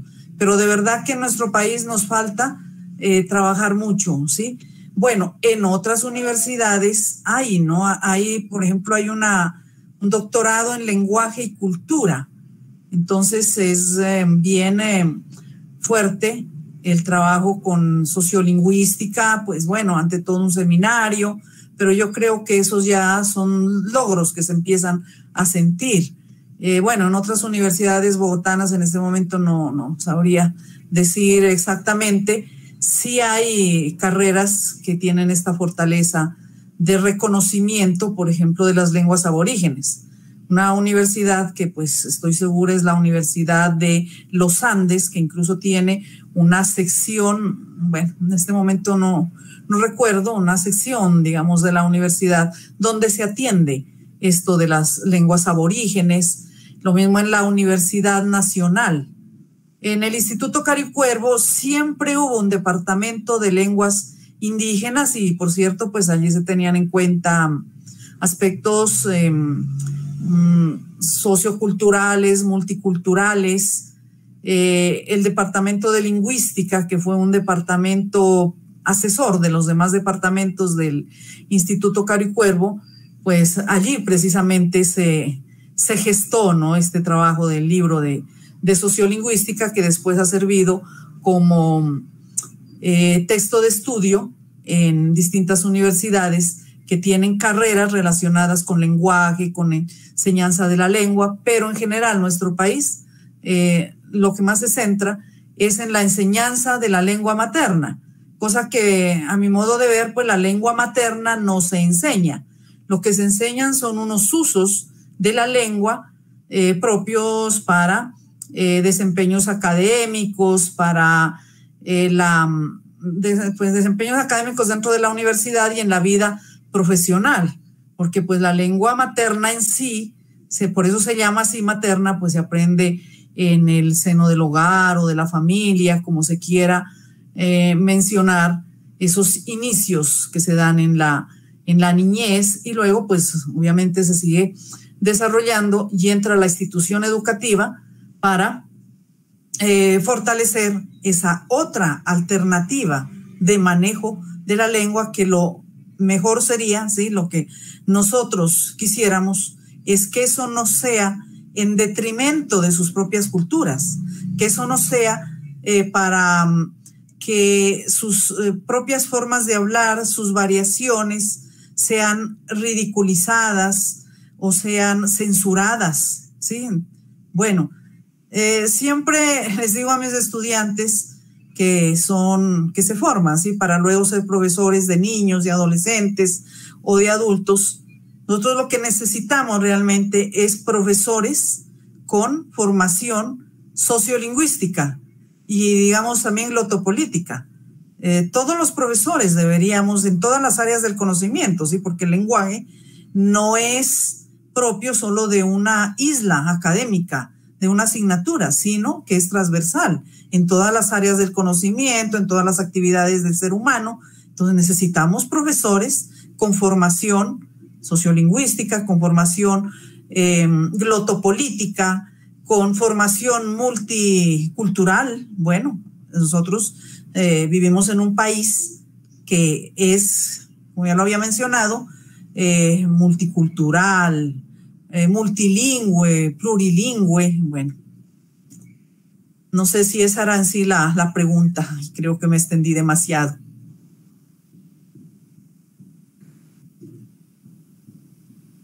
Não, foi tudo bem. Não, sido muito bem. Mais alguém gostaria de é, comentar essas perguntas, os comentários? Destacar talvez algumas iniciativas da universidade. A gente tem mais alguns blocos de pergunta, pelo menos mais um bloco de perguntas, são muitas, a gente talvez não consiga é, dar conta de todas as perguntas, né, porque a, participação e o interesse estão bem nítidos, mas é, talvez o professor Miguel e a professora Tomásia queiram é, comentar um pouco as perguntas já feitas. Sejam bem-vindos. Eh, sí, yo quisiera, quisiera eh, complementar o ampliar ¿no? Eh, con, con, relación con, nuestro contexto, ¿no? La pregunta en relación con el tema de, de los programas de posgrado, el tema de cuotas, eh, hay una cuestión que tiene que ver también con las exigencias a nivel de política educativa que se solicitan a estos programas de posgrado. Eh, la cuestión es que partimos de modelos, eh, todos los programas de posgrado se quieren ubicar en lo que se llama un padrón de excelencia una especie de padrón en el cual se reconoce la calidad formativa de, la oferta educativa eh, de posgrado. El problema es que muchas veces hacemos una lectura de esas normativas muy literal e incluso la hacemos más exigente de lo que es. En muchos casos se está pidiendo que el perfil de egreso o de ingreso, o de egreso de un estudiante en un posgrado eh, implica eh, tener o mm, disponer del conocimiento de una segunda lengua. el, el, asunto es que de repente todo el mundo piensa en el inglés y todo el mundo exige uh, certificaciones de alto nivel que incluso implica un coste económico alto, eh, para, depende qué niveles. Eso ya es un factor de exclusión eh, inducida, de cierta manera. Ahí lo que vemos es que de repente hay una especie de agrario comparativo con alguien que un agrario comparativo con ese imaginario de cómo es el estudiante que va a estudiar con nosotros, ¿no? Entonces, claro, nos damos cuenta que hay estudiantes cuya lengua materna es una lengua nacional que no es el español y el español es una segunda lengua igual de acreditable que el inglés. Claro, eso lo que implica es que los planes de estudio que se han establecido para cada programa reconozcan o dejen abierto qué entendemos por la segunda lengua de interés investigativo o de estudio. En ese caso, somos víctimas de cerrar mucho las características nombrando las lenguas y no hay juego. Nos encontramos con la paradoja de que pueden venir estudiantes, o ha podido pasar que han venido estudiantes extranjeros de países anglo, anglo, anglófonos, anglohablantes, y se les ha tenido que pedir certificación del inglés porque era el requisito para entrar en la, maestría, en la maestría o en el doctorado, en vez de pedirles una certificación de lengua española. O sea, es la paradoja del sistema porque era un requisito de, de ingreso, ¿no? Y sin embargo, no reconocer que puedes entrar siendo hablante de inglés y como tu trabajo de investigación es en el sur de Veracruz, es más importante que manejes Popoluca que demuestres un buen conocimiento del Popoluca. No es, pues es algo añadido, es un sobreesfuerzo. Y lo que ocurre con la población indígena es un sobreesfuerzo. Tienes que aprender tu lengua, porque te la vamos a reconocer de alguna manera, el español y ahora inglés. Puede ser, o sea, no hay estudiantes que rechacen esa idea, pero evidentemente no son situaciones de igualdad en el sentido de punto de partida. Igualmente, en ocasiones lo que hemos hecho es precisamente con los cambios y reformas de los planes de estudio, es que entran con su lengua materna y acreditan el español. No es necesario el inglés en este caso porque no se les está pidiendo tres lenguas. Claro, ahí tenemos otras discusiones. ¿Con qué nivel de su lengua están entrando? Porque esa es otra cuestión. Como hemos dicho, hay procesos de desactualización, desliteralización de la lengua, desactivación y un desarrollo muy regular. De modo que, claro, a lo mejor su lengua no la leen ni escriben, eso es otro debate, pero evidentemente si estamos pensando que quieren hacer de su lengua una lengua académica, ese requisito tendría que estar, pero también ocurre lo mismo. Es cierto, partimos del presupuesto de un manejo, eh, eh, manejo académico bueno del español y a veces no es así. Pero vamos, eso ocurre hasta con el hispanohablante. Entonces, bueno, es un, es un tema siempre de debate de qué es lo que realmente queremos cuando pedimos el dominio de una lengua. Sea, pensamos en requisitos burocráticos, en, en indicadores de calidad y no estamos pensando realmente en el significado que le queremos dar utilitario, porque si yo voy a hacer un trabajo entre nahuas, soy nahua y lo quiero publicar y escribir en náhuatl, no necesito más lengua. Claro, Puedo necesitar inglés, francés, español para leer trabajos, pero es para leer, no voy a hablar. O sea, hay una cuestión de una superexigencia que luego dificulta desarrollarse a nivel más, más de formación en, lo que es el propio trabajo, en lo que es el propio estudio. Bueno, eso es una, una cuestión que comento de medidas que se adoptan, pero siempre son planes de estudio que detectan no solamente la presencia de estudiantes con estas características, sino la utilidad de su característica y condición para la investigación. Y eso también implica de los proyectos de investigación que tengan los propios académicos. Con el tema de la preparación de los profesores, eh, eh, no hay. O sea, ese es el gran problema.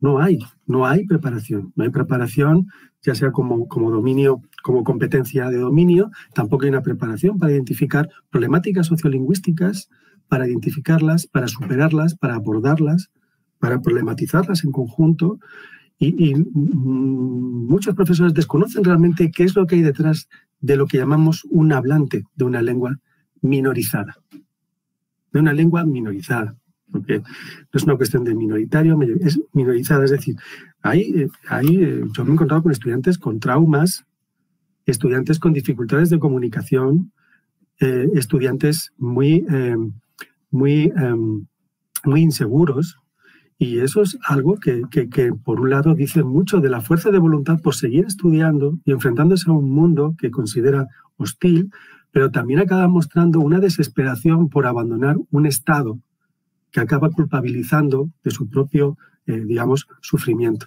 Entonces, al final es una formación muy amplia la que tiene que tener ese profesor, que tiene que estimular, acompañar, pero también ayudar a mejorar ciertas habilidades y que eso además no repercuta en, una, que ese es el problema de los tiempos, de nuestros tiempos, una, una formación al ritmo del estudiante, no al ritmo de la institución. Bueno, esa es una cuestión. El aspecto afro sí me interesa mencionar porque precisamente el aspecto afro es un aspecto muy importante en el estado de Veracruz.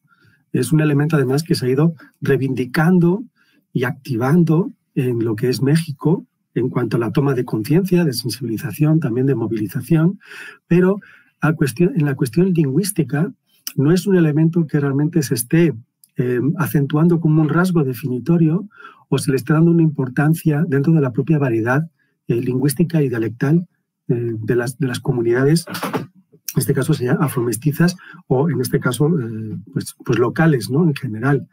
Es un aspecto interesante porque ha habido, incluso en el aspecto lingüístico, ha habido una gran, un gran discurso del mestizaje, ¿no? Ha habido un discurso un poco de, tolerancia, conservación, reivindicación de las lenguas indígenas nacionales, pero lo que es la situación de la población afromestiza, que en el fondo es una población muy estigmatizada precisamente por su origen, ¿no? Su origen social, ¿no? O sea, ¿para qué llegaron al territorio que fue para trabajar como esclavos? pues siempre tuvieron un, tratamiento muy diferente desde la colonia, ¿no? O sea, con ellos no había, tenían que ser castellanizados, tenían que hablar español.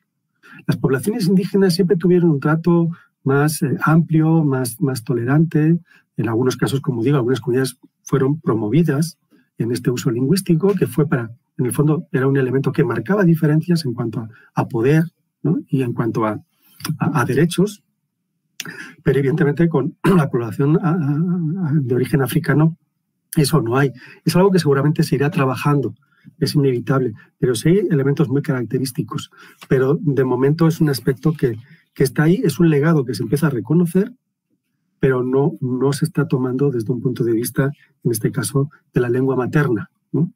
que segunda surgirá.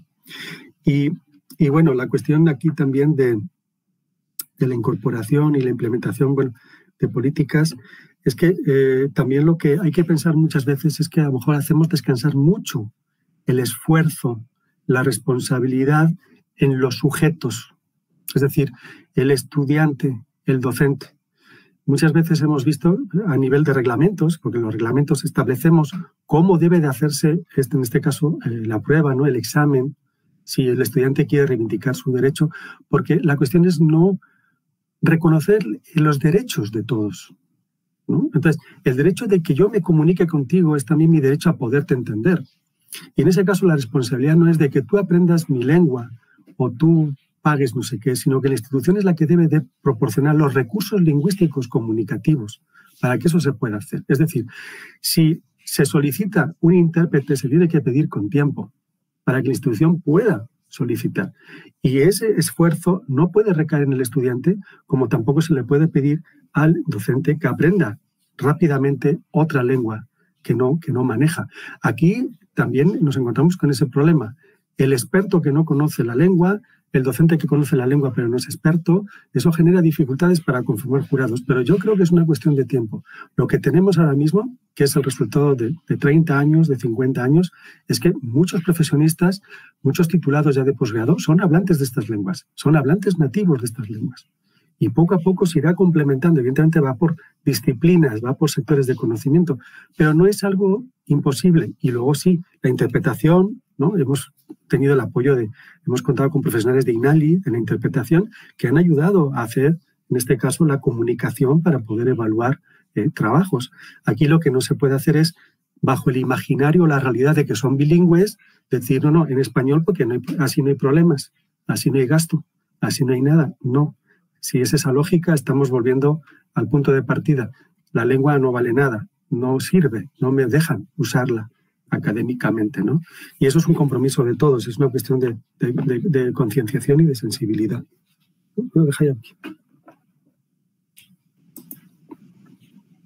Muchas gracias.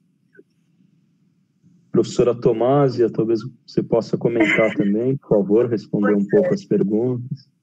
Uh, eu, vou fazer mesmo um comentário muito geral uh, em relação à questão relacionada com, com uh, o contexto da pós-graduação, porque eu não, não, não, não faço intervenções ao nível da pós-graduação, estou mesmo a trabalhar ao nível da graduação, mas como, como, como pesquisadora e como também funcionária da própria universidade, Uh, devo dizer que sinto também presente marcada as questões que já foram referidas aqui pela professora Mireia e pela professor Miguel, até também pelo, pelo professor Paulo ao longo da sua uh, apresentação de questões. A questão da hegemonia linguística europeia, ela está muito presente.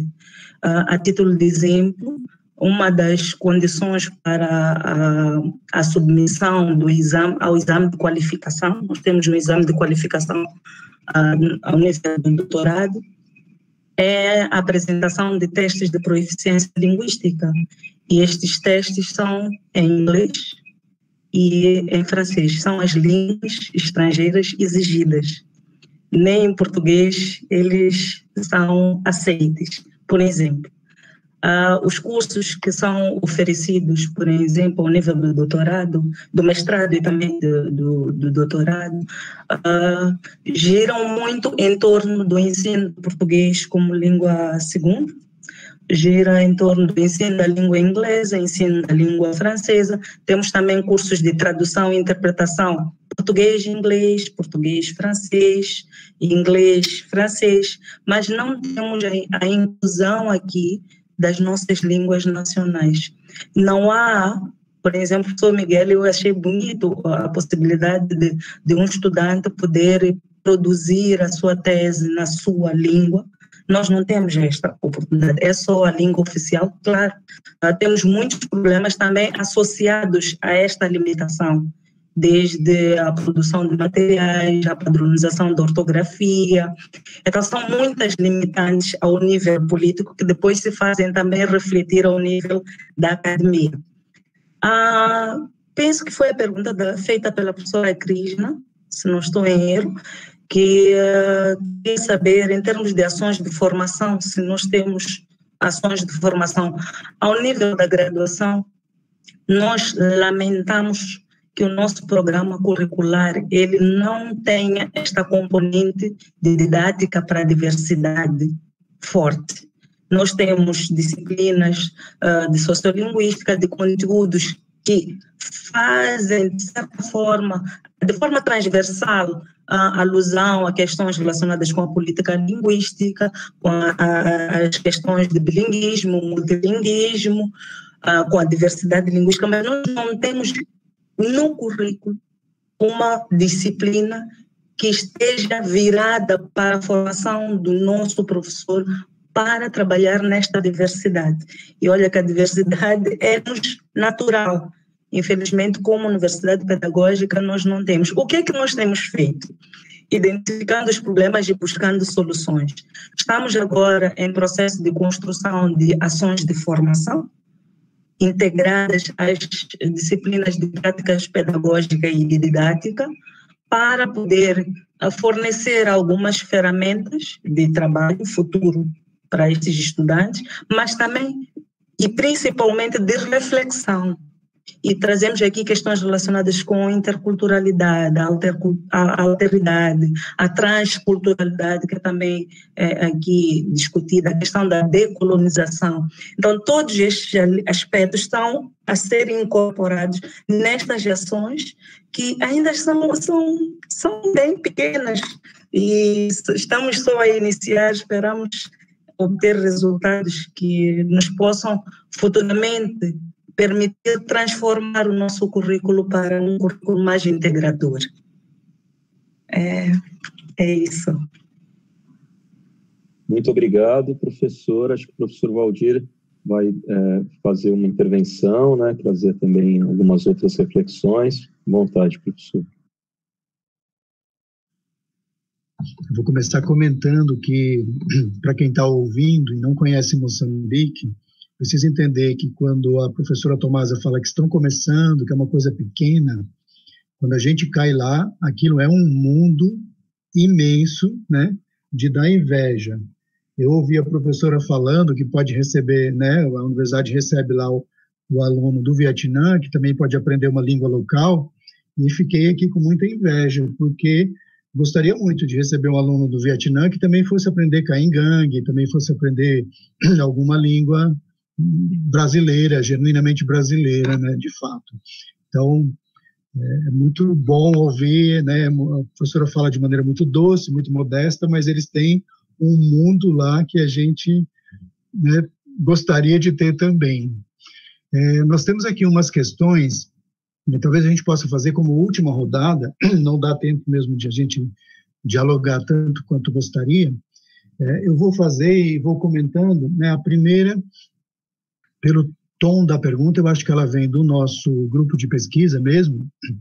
É uma pergunta se é mais direcionada ao professor Miguel, porque a professora Tomás e a professora Mireia já falaram no nosso grupo a respeito do seguinte: se nos cursos em que vocês trabalham, mas é mais o professor Miguel, se na licenciatura em que atua, é, como é que são tratados os, os, os componentes culturais, os, os, componentes, como componente curricular, a multiculturalidade e a glotopolítica? É, quando se fala em multiculturalidade no curso em que você atua, Miguel, é, isso está numa disciplina específica, isso está por entre todos os conteúdos das outras disciplinas, e o mesmo vale para glotopolítica. Esse é o interesse muito do nosso grupo de pesquisa, entender como é que na formação dos professores é, o aluno tem acesso a esses conhecimentos, e que também é uma, uma questão que está no projeto original lá da professora Mireia. Tem uma pergunta da Viviane Rolim, que é o seguinte: as línguas têm as suas especificidades. Como não ficar apenas sob a sombra da língua europeia para os alunos em geral, principalmente nas avaliações de proficiência? E uma outra questão da Camila, que eu acho que se alinha com esta, que é assim: algumas universidades estão recebendo mais estudantes estrangeiros e, em algum momento dos cursos, eles precisam passar na avaliação de proficiência, como no caso do Brasil, o CELPE-BRAS, que é o exame oficial. Muitos estudantes ficam preocupados com essas avaliações, sentem como se isso determinasse o seu desenvolvimento na academia. Qual a opinião dos professores sobre essas avaliações que são oficiais a respeito da, das línguas? Só para dar uma informação, quando eu coordenei a, a Comissão de Internacionalização da Faculdade de Educação, nós suspendemos toda exigência de língua. Nós tiramos, o aluno poderia vir para a Faculdade de Educação sem saber uma palavra de português, porque nós oferecíamos os nossos alunos de português para fazer estágio junto a eles e inseri-los na língua portuguesa rapidamente, mas nós tiramos as exigências. A única exigência que restou foi para o caso de o aluno querer oficialmente uma bolsa do governo brasileiro, que daí é uma exigência que aparece nos editais e aí a gente não pode mexer. Mas para o intercâmbio normal, na Faculdade de Educação nós suspendemos qualquer exigência. Tem uma outra pergunta, é a última, é, da Laísa. Pergunta, é uma pergunta dirigida ao professor Miguel, professor Miguel, ela diz o seguinte: como pesquisadora brasileira, entendo que publicar em português limita minha inserção científica. Publicar em espanhol me coloca no mundo e em inglês me põe na vitrine. Publicar exclusivamente em sua língua materna não seria uma outra maneira de excluir e de restringir o acesso à divulgação do conhecimento e ao reconhecimento da produção científica de falantes de línguas minoritárias? Aqui eu quero comentar porque essa questão para mim ela é muito cara, não é? Porque quando eu publico em português, eu posso ser lido em Moçambique, Angola, Guiné-Bissau, Timor-Leste, etc. O problema é que nós brasileiros que estamos na universidade, nós não achamos importante que o, o moçambicano nos leia. Não, nós não buscamos isso. Se nós escrevemos em espanhol, nós podemos nos comunicar com os paraguaios, com os bolivianos, mas qual brasileiro aceita tranquilamente que tem importância ser lido em Honduras, no, no Paraguai, etc. Então, aqui nós temos uma questão bastante interessante para decidir entre nós brasileiros, que é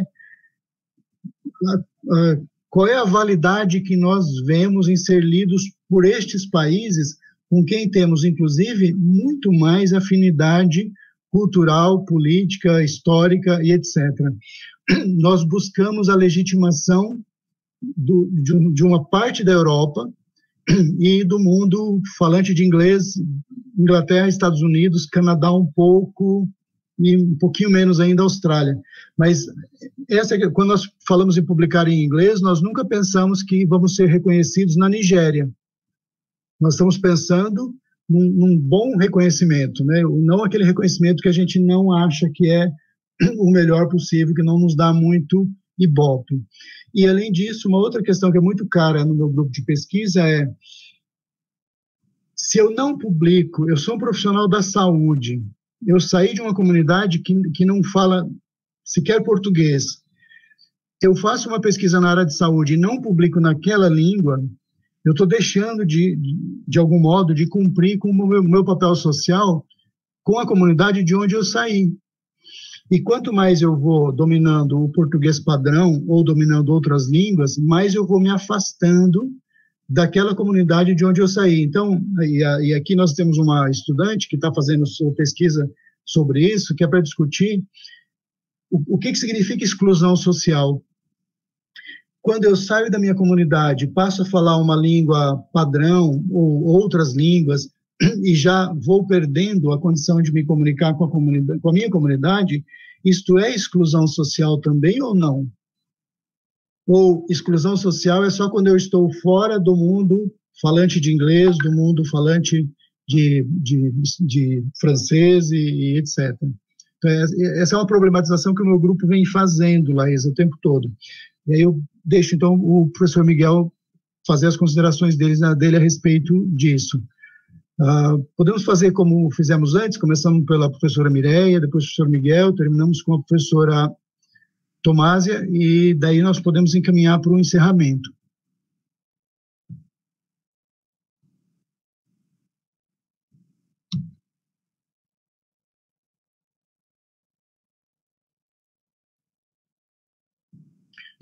Professora Mireia, ¿le gustaría empezar?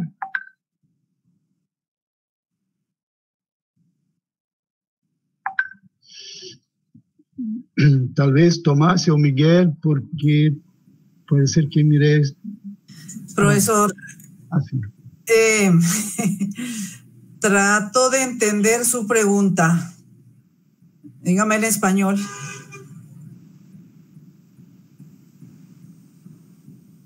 No alcancé a, a percibir qué me solicita.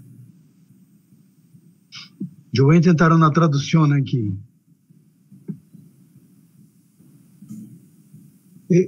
Una primera para usted sería cómo, eh, cómo no quedarse apenas en la sombra de, de las europeas, principalmente para los estudiantes que tienen que hacer evaluaciones para mostrar que de, de hecho dominan otros, otros idiomas. ¿Cómo, no, cómo para un hablante de un idioma que no es eh, europeo puede no quedarse bajo estos estándares de idioma de, Europa. Eh, la otra sería si eh, los, las evaluaciones oficiales, como en Brasil, eh, CEPBRAS, por ejemplo, uh, no están uh, provocando alguna intimidación a los estudiantes que van, pasan a pensar que tal vez no sean tan buenos en, su desarrollo en la academia y cosas así. No sé si con mi española de apoyo en la comprensión o complico más. Eh, no, eh, las preguntas están bien.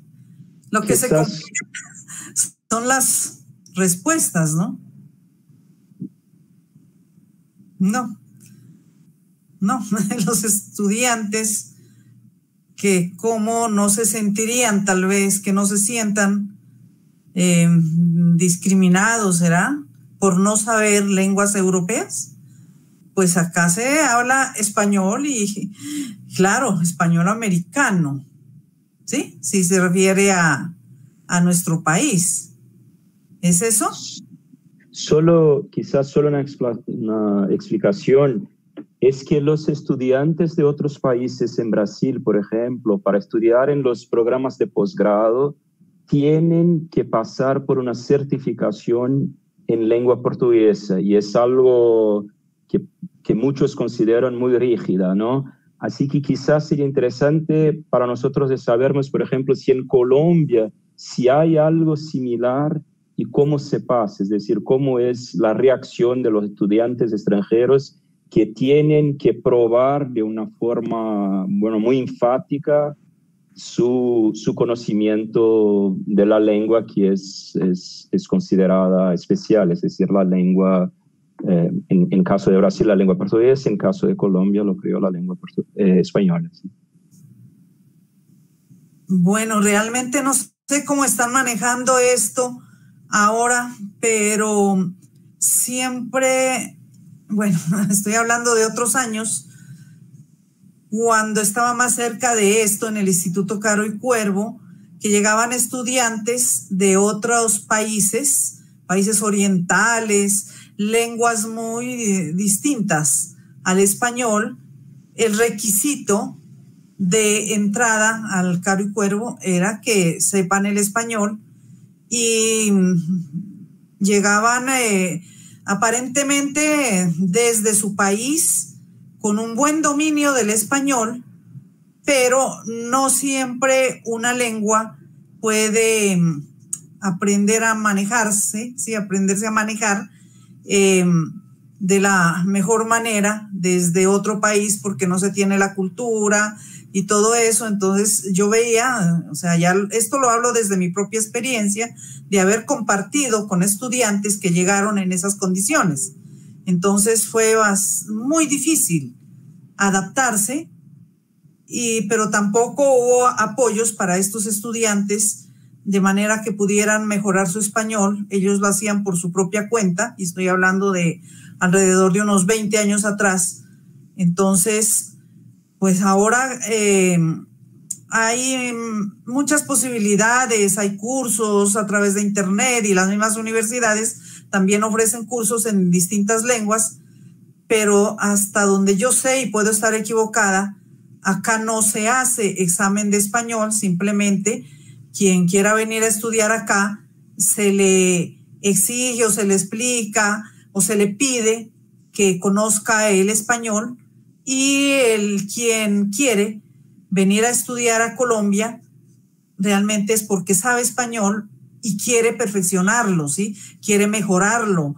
Es una práctica de su lengua. O sea, ya llegan con su conocimiento y por su propia cuenta, pues ellos eh, mejoran el conocimiento del español. En nuestra universidad, sí llegan estudiantes, pero muy pocos. Realmente nuestra universidad es una universidad de provincia, pero llegan muy pocos estudiantes eh, de otras lenguas. En una universidad vecina, eh, muy cerca de acá, en la ciudad de Manizales, la Universidad de Caldas, allá sí tienen un programa de intercambios y llegan grupos, um, bueno, un poco grandes, ¿no? Eh, unos 30, unos 40 estudiantes, supongo yo, hay extranjeros y bueno, saben el español eh, y a veces se sienten en ventaja frente a los colombianos que solamente sabemos español mientras ellos saben su lengua mm, de origen más otras lenguas, saben español, saben inglés, saben francés, por ejemplo. Entonces yo creo que ellos no se sienten Em, acomplejados eh, llegando a Colombia, así hasta lo que puedo percibir desde mi universidad de provincia. Ellos se sienten más aventajados todavía porque tienen más, más dominios. No sé si esa fue la pregunta. y si esa era la respuesta esperada.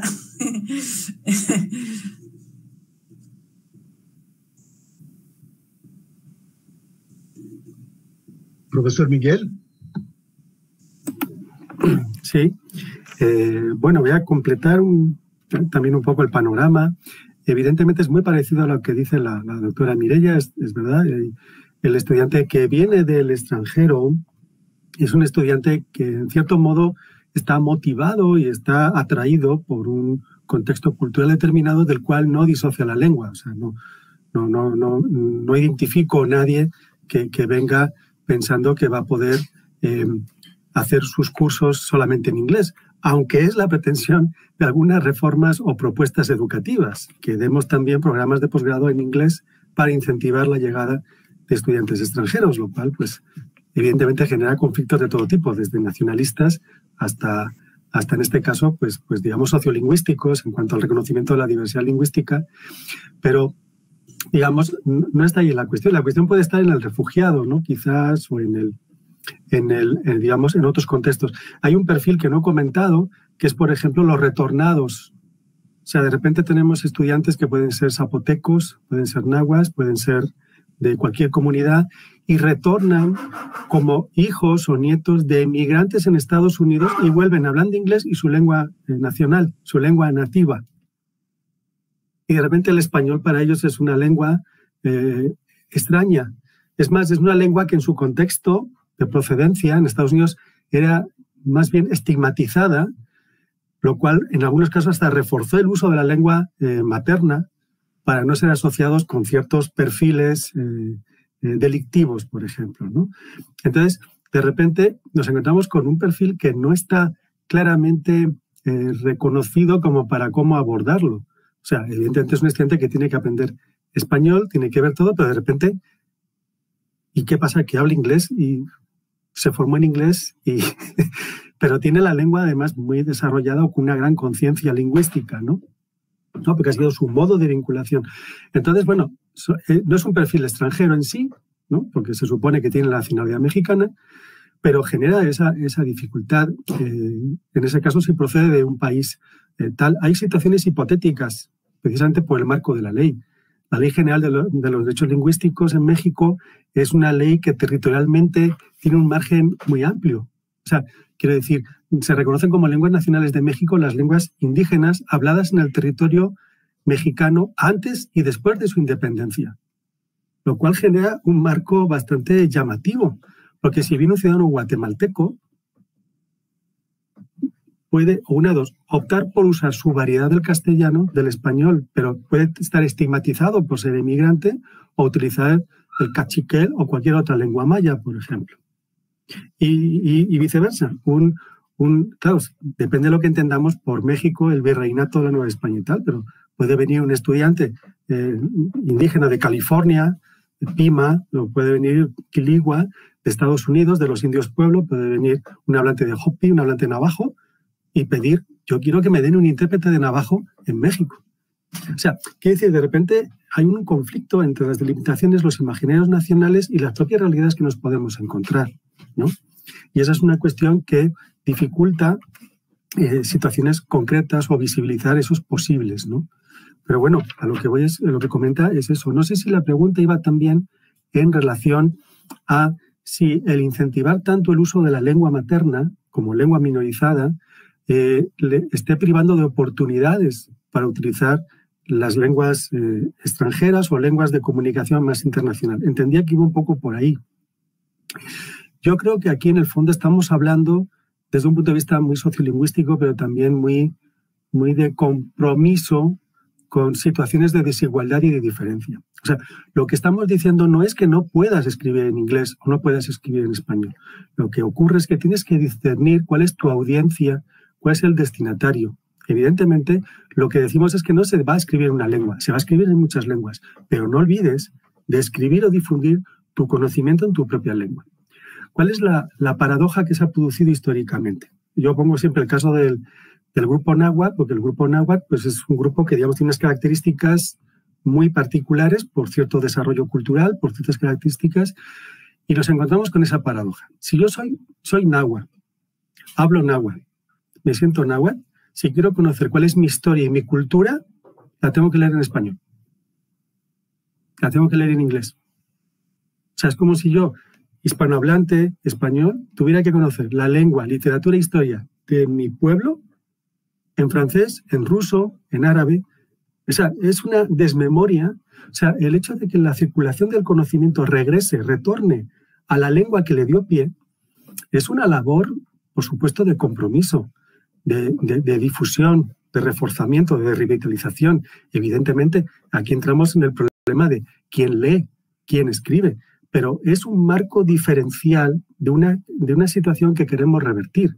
Lo que es paradójico es que las investigaciones sobre aspectos muy locales solamente puedan ser conocidos si sé inglés y sé cómo localizar una revista alemana. O sea, ese es, ese es, la, ese es el, el, sentido asimétrico y en este caso colonizador o, hegemónico, que de repente el conocimiento sobre mí mismo, sobre mi realidad, está a disposición del que pertenece a otra comunidad, del que maneja sus códigos. Es más, hay un proceso de traducción.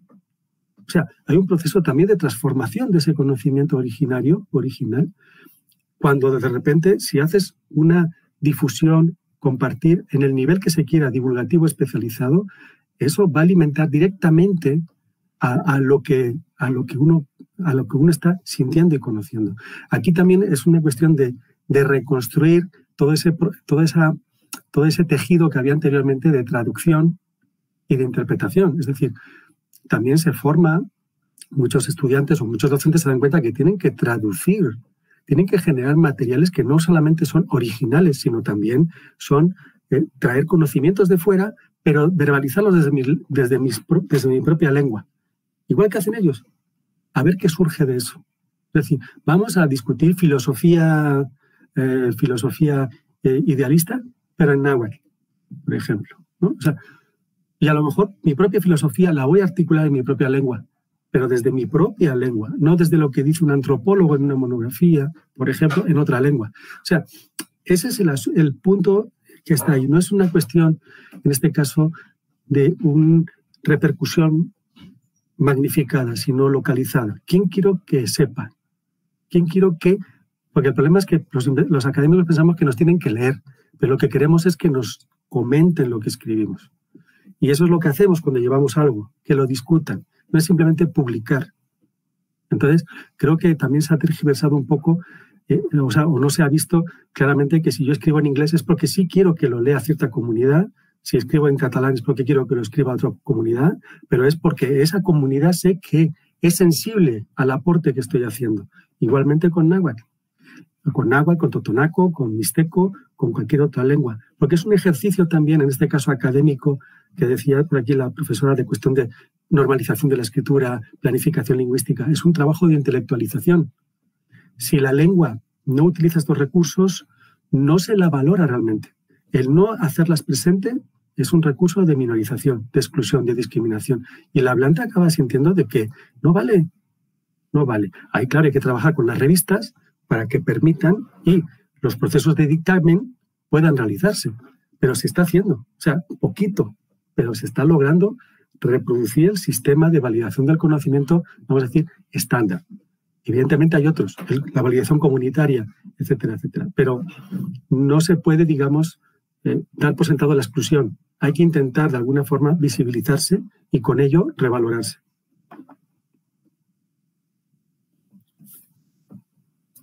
No sé si había dejado una pregunta. Perfecto, muchas gracias, Miguel. Eh, profesora Tomasia, ¿me gustaría comentar? Uh, se calhar apenas um, um, um, muito breve comentário mesmo, que é, é mesmo uma sensibilidade muito individual que é o fato de pensar que o, alargar o espectro de domínio de línguas um, não diminui, ele só tende a acrescentar. E eu concordo plenamente com o professor Valdir quando diz que é preciso que nós um, nos preocupemos com a reconfiguração dos contextos, porque os contextos considerados uh, minoritários, ou uh, o professor Valdir agora disse uma coisa, olha Tomás, eu gostava muito de estar no nível em que vocês estão, em termos de, de recessão, em termos de atividades, e, e, e, é bom para mim, no contexto africano, ouvir isso do professor Valdir, mas acho que é ainda melhor poder ter a, a possibilidade de partilhar isso com, no, no meu contexto, com o meu grupo de pesquisadores, porque isso permite a reconfiguração das nossas atitudes em relação ao trabalho que está a ser feito. Portanto, sim, nós temos que olhar para esta questão da hegemonia linguística como uma questão que deve ser vista de forma parcial, porque nós somos produtos de múltiplas identidades e as nossas atitudes elas têm que ir se transformando e adequando-se também aos múltiplos contextos dos quais nós nos inserimos. É mesmo um sentimento muito pessoal, professor. Então, o acho que o professor Miguel uh, disse, disse muito bem. Eu não conseguiria dizer tão bem quanto ele, quanto ele disse. Sim, sim, é muito importante essa posição do professor Miguel, né, de acho que a gente é levado a alimentar algumas ilusões com relação à publicação nessa ou naquela língua, né? Eu posso publicar na língua oficial do Globo e, e não ser lido, ou, ou uh, ser muito pouco citado, quando sou citado apenas porque alguém recortou um trecho, mas não entendeu muito bem, não, não, não está comentando aquilo de maneira a fazer avançar o conhecimento. Bom, é, o professor Paulo quer fazer outras considerações e aí nós vamos, de fato, encerrar, porque ficamos já bastante tempo, embora pudéssemos ficar por mais tempo ainda, a noite adentro, mas o professor Paulo vai fazer as considerações finais e aí a gente vai mesmo encerrar. Eu já, de antemão, agradeço muito a presença de todos, aos convidados, por terem abrilhantado muito o nosso debate e contribuído bastante. Muito obrigado. Muito obrigado, professor Valdir. Também queria agradecer muito a presença, a participação né, da professora Tomásia, da professora Mireia, do professor Miguel, sua, professor Valdir. Eu acho que foi uma aula, de fato, né, no sentido amplo da palavra. Eu queria só uma questão prática para os que estão nos vendo. É, nós informamos e divulgamos né, que este curso é, diálogos interculturais, migração e mobilidade, vai fornecer certificados para aqueles que obtiverem 70% de presença. Nesse primeiro momento, são quatro aulas e vamos ter a segunda parte do curso no primeiro semestre de 2021. Então, é importante que quem ainda não acessou o link, não preencheu o formulário simples de presença, que deve ser preenchido a cada aula para comprovar a, a presença no curso, pode acessar o link e se inscrever, por favor. E aí, anunciar brevemente, né? Então, como mencionei, temos mais três aulas que pretendem ajudar a combater essa violência epistêmica tão abordada na aula de hoje, né? Porque, de fato, ter preconceito linguístico, não considerar as identidades múltiplas, valorizar alguma língua em detrimento de outras, é promover violência é, epistêmica e promover a manutenção e o fortalecimento do, da, da colonialidade. Então, entendo que, entre muitas outras contribuições, essa aula também nos ajuda, dentro dessa proposta de parceria entre o ciclo Universidade e Transformação e o curso a promover mudanças no espaço acadêmico também. Naturalmente, a gente precisa sempre promover mudanças no espaço acadêmico e nos espaços extra-acadêmicos. E aí, brevemente, para encerrar, citar que temos a, a segunda aula do curso agora no dia 25 de novembro, né, sobre filosofia intercultural diante dos desafios do mundo atual, no dia 2 de dezembro, temos a aula Culturas e Movimento, ampliando as pesquisas em modo virtual. E no dia 4 de dezembro, a aula sobre migração haitiana e trabalho.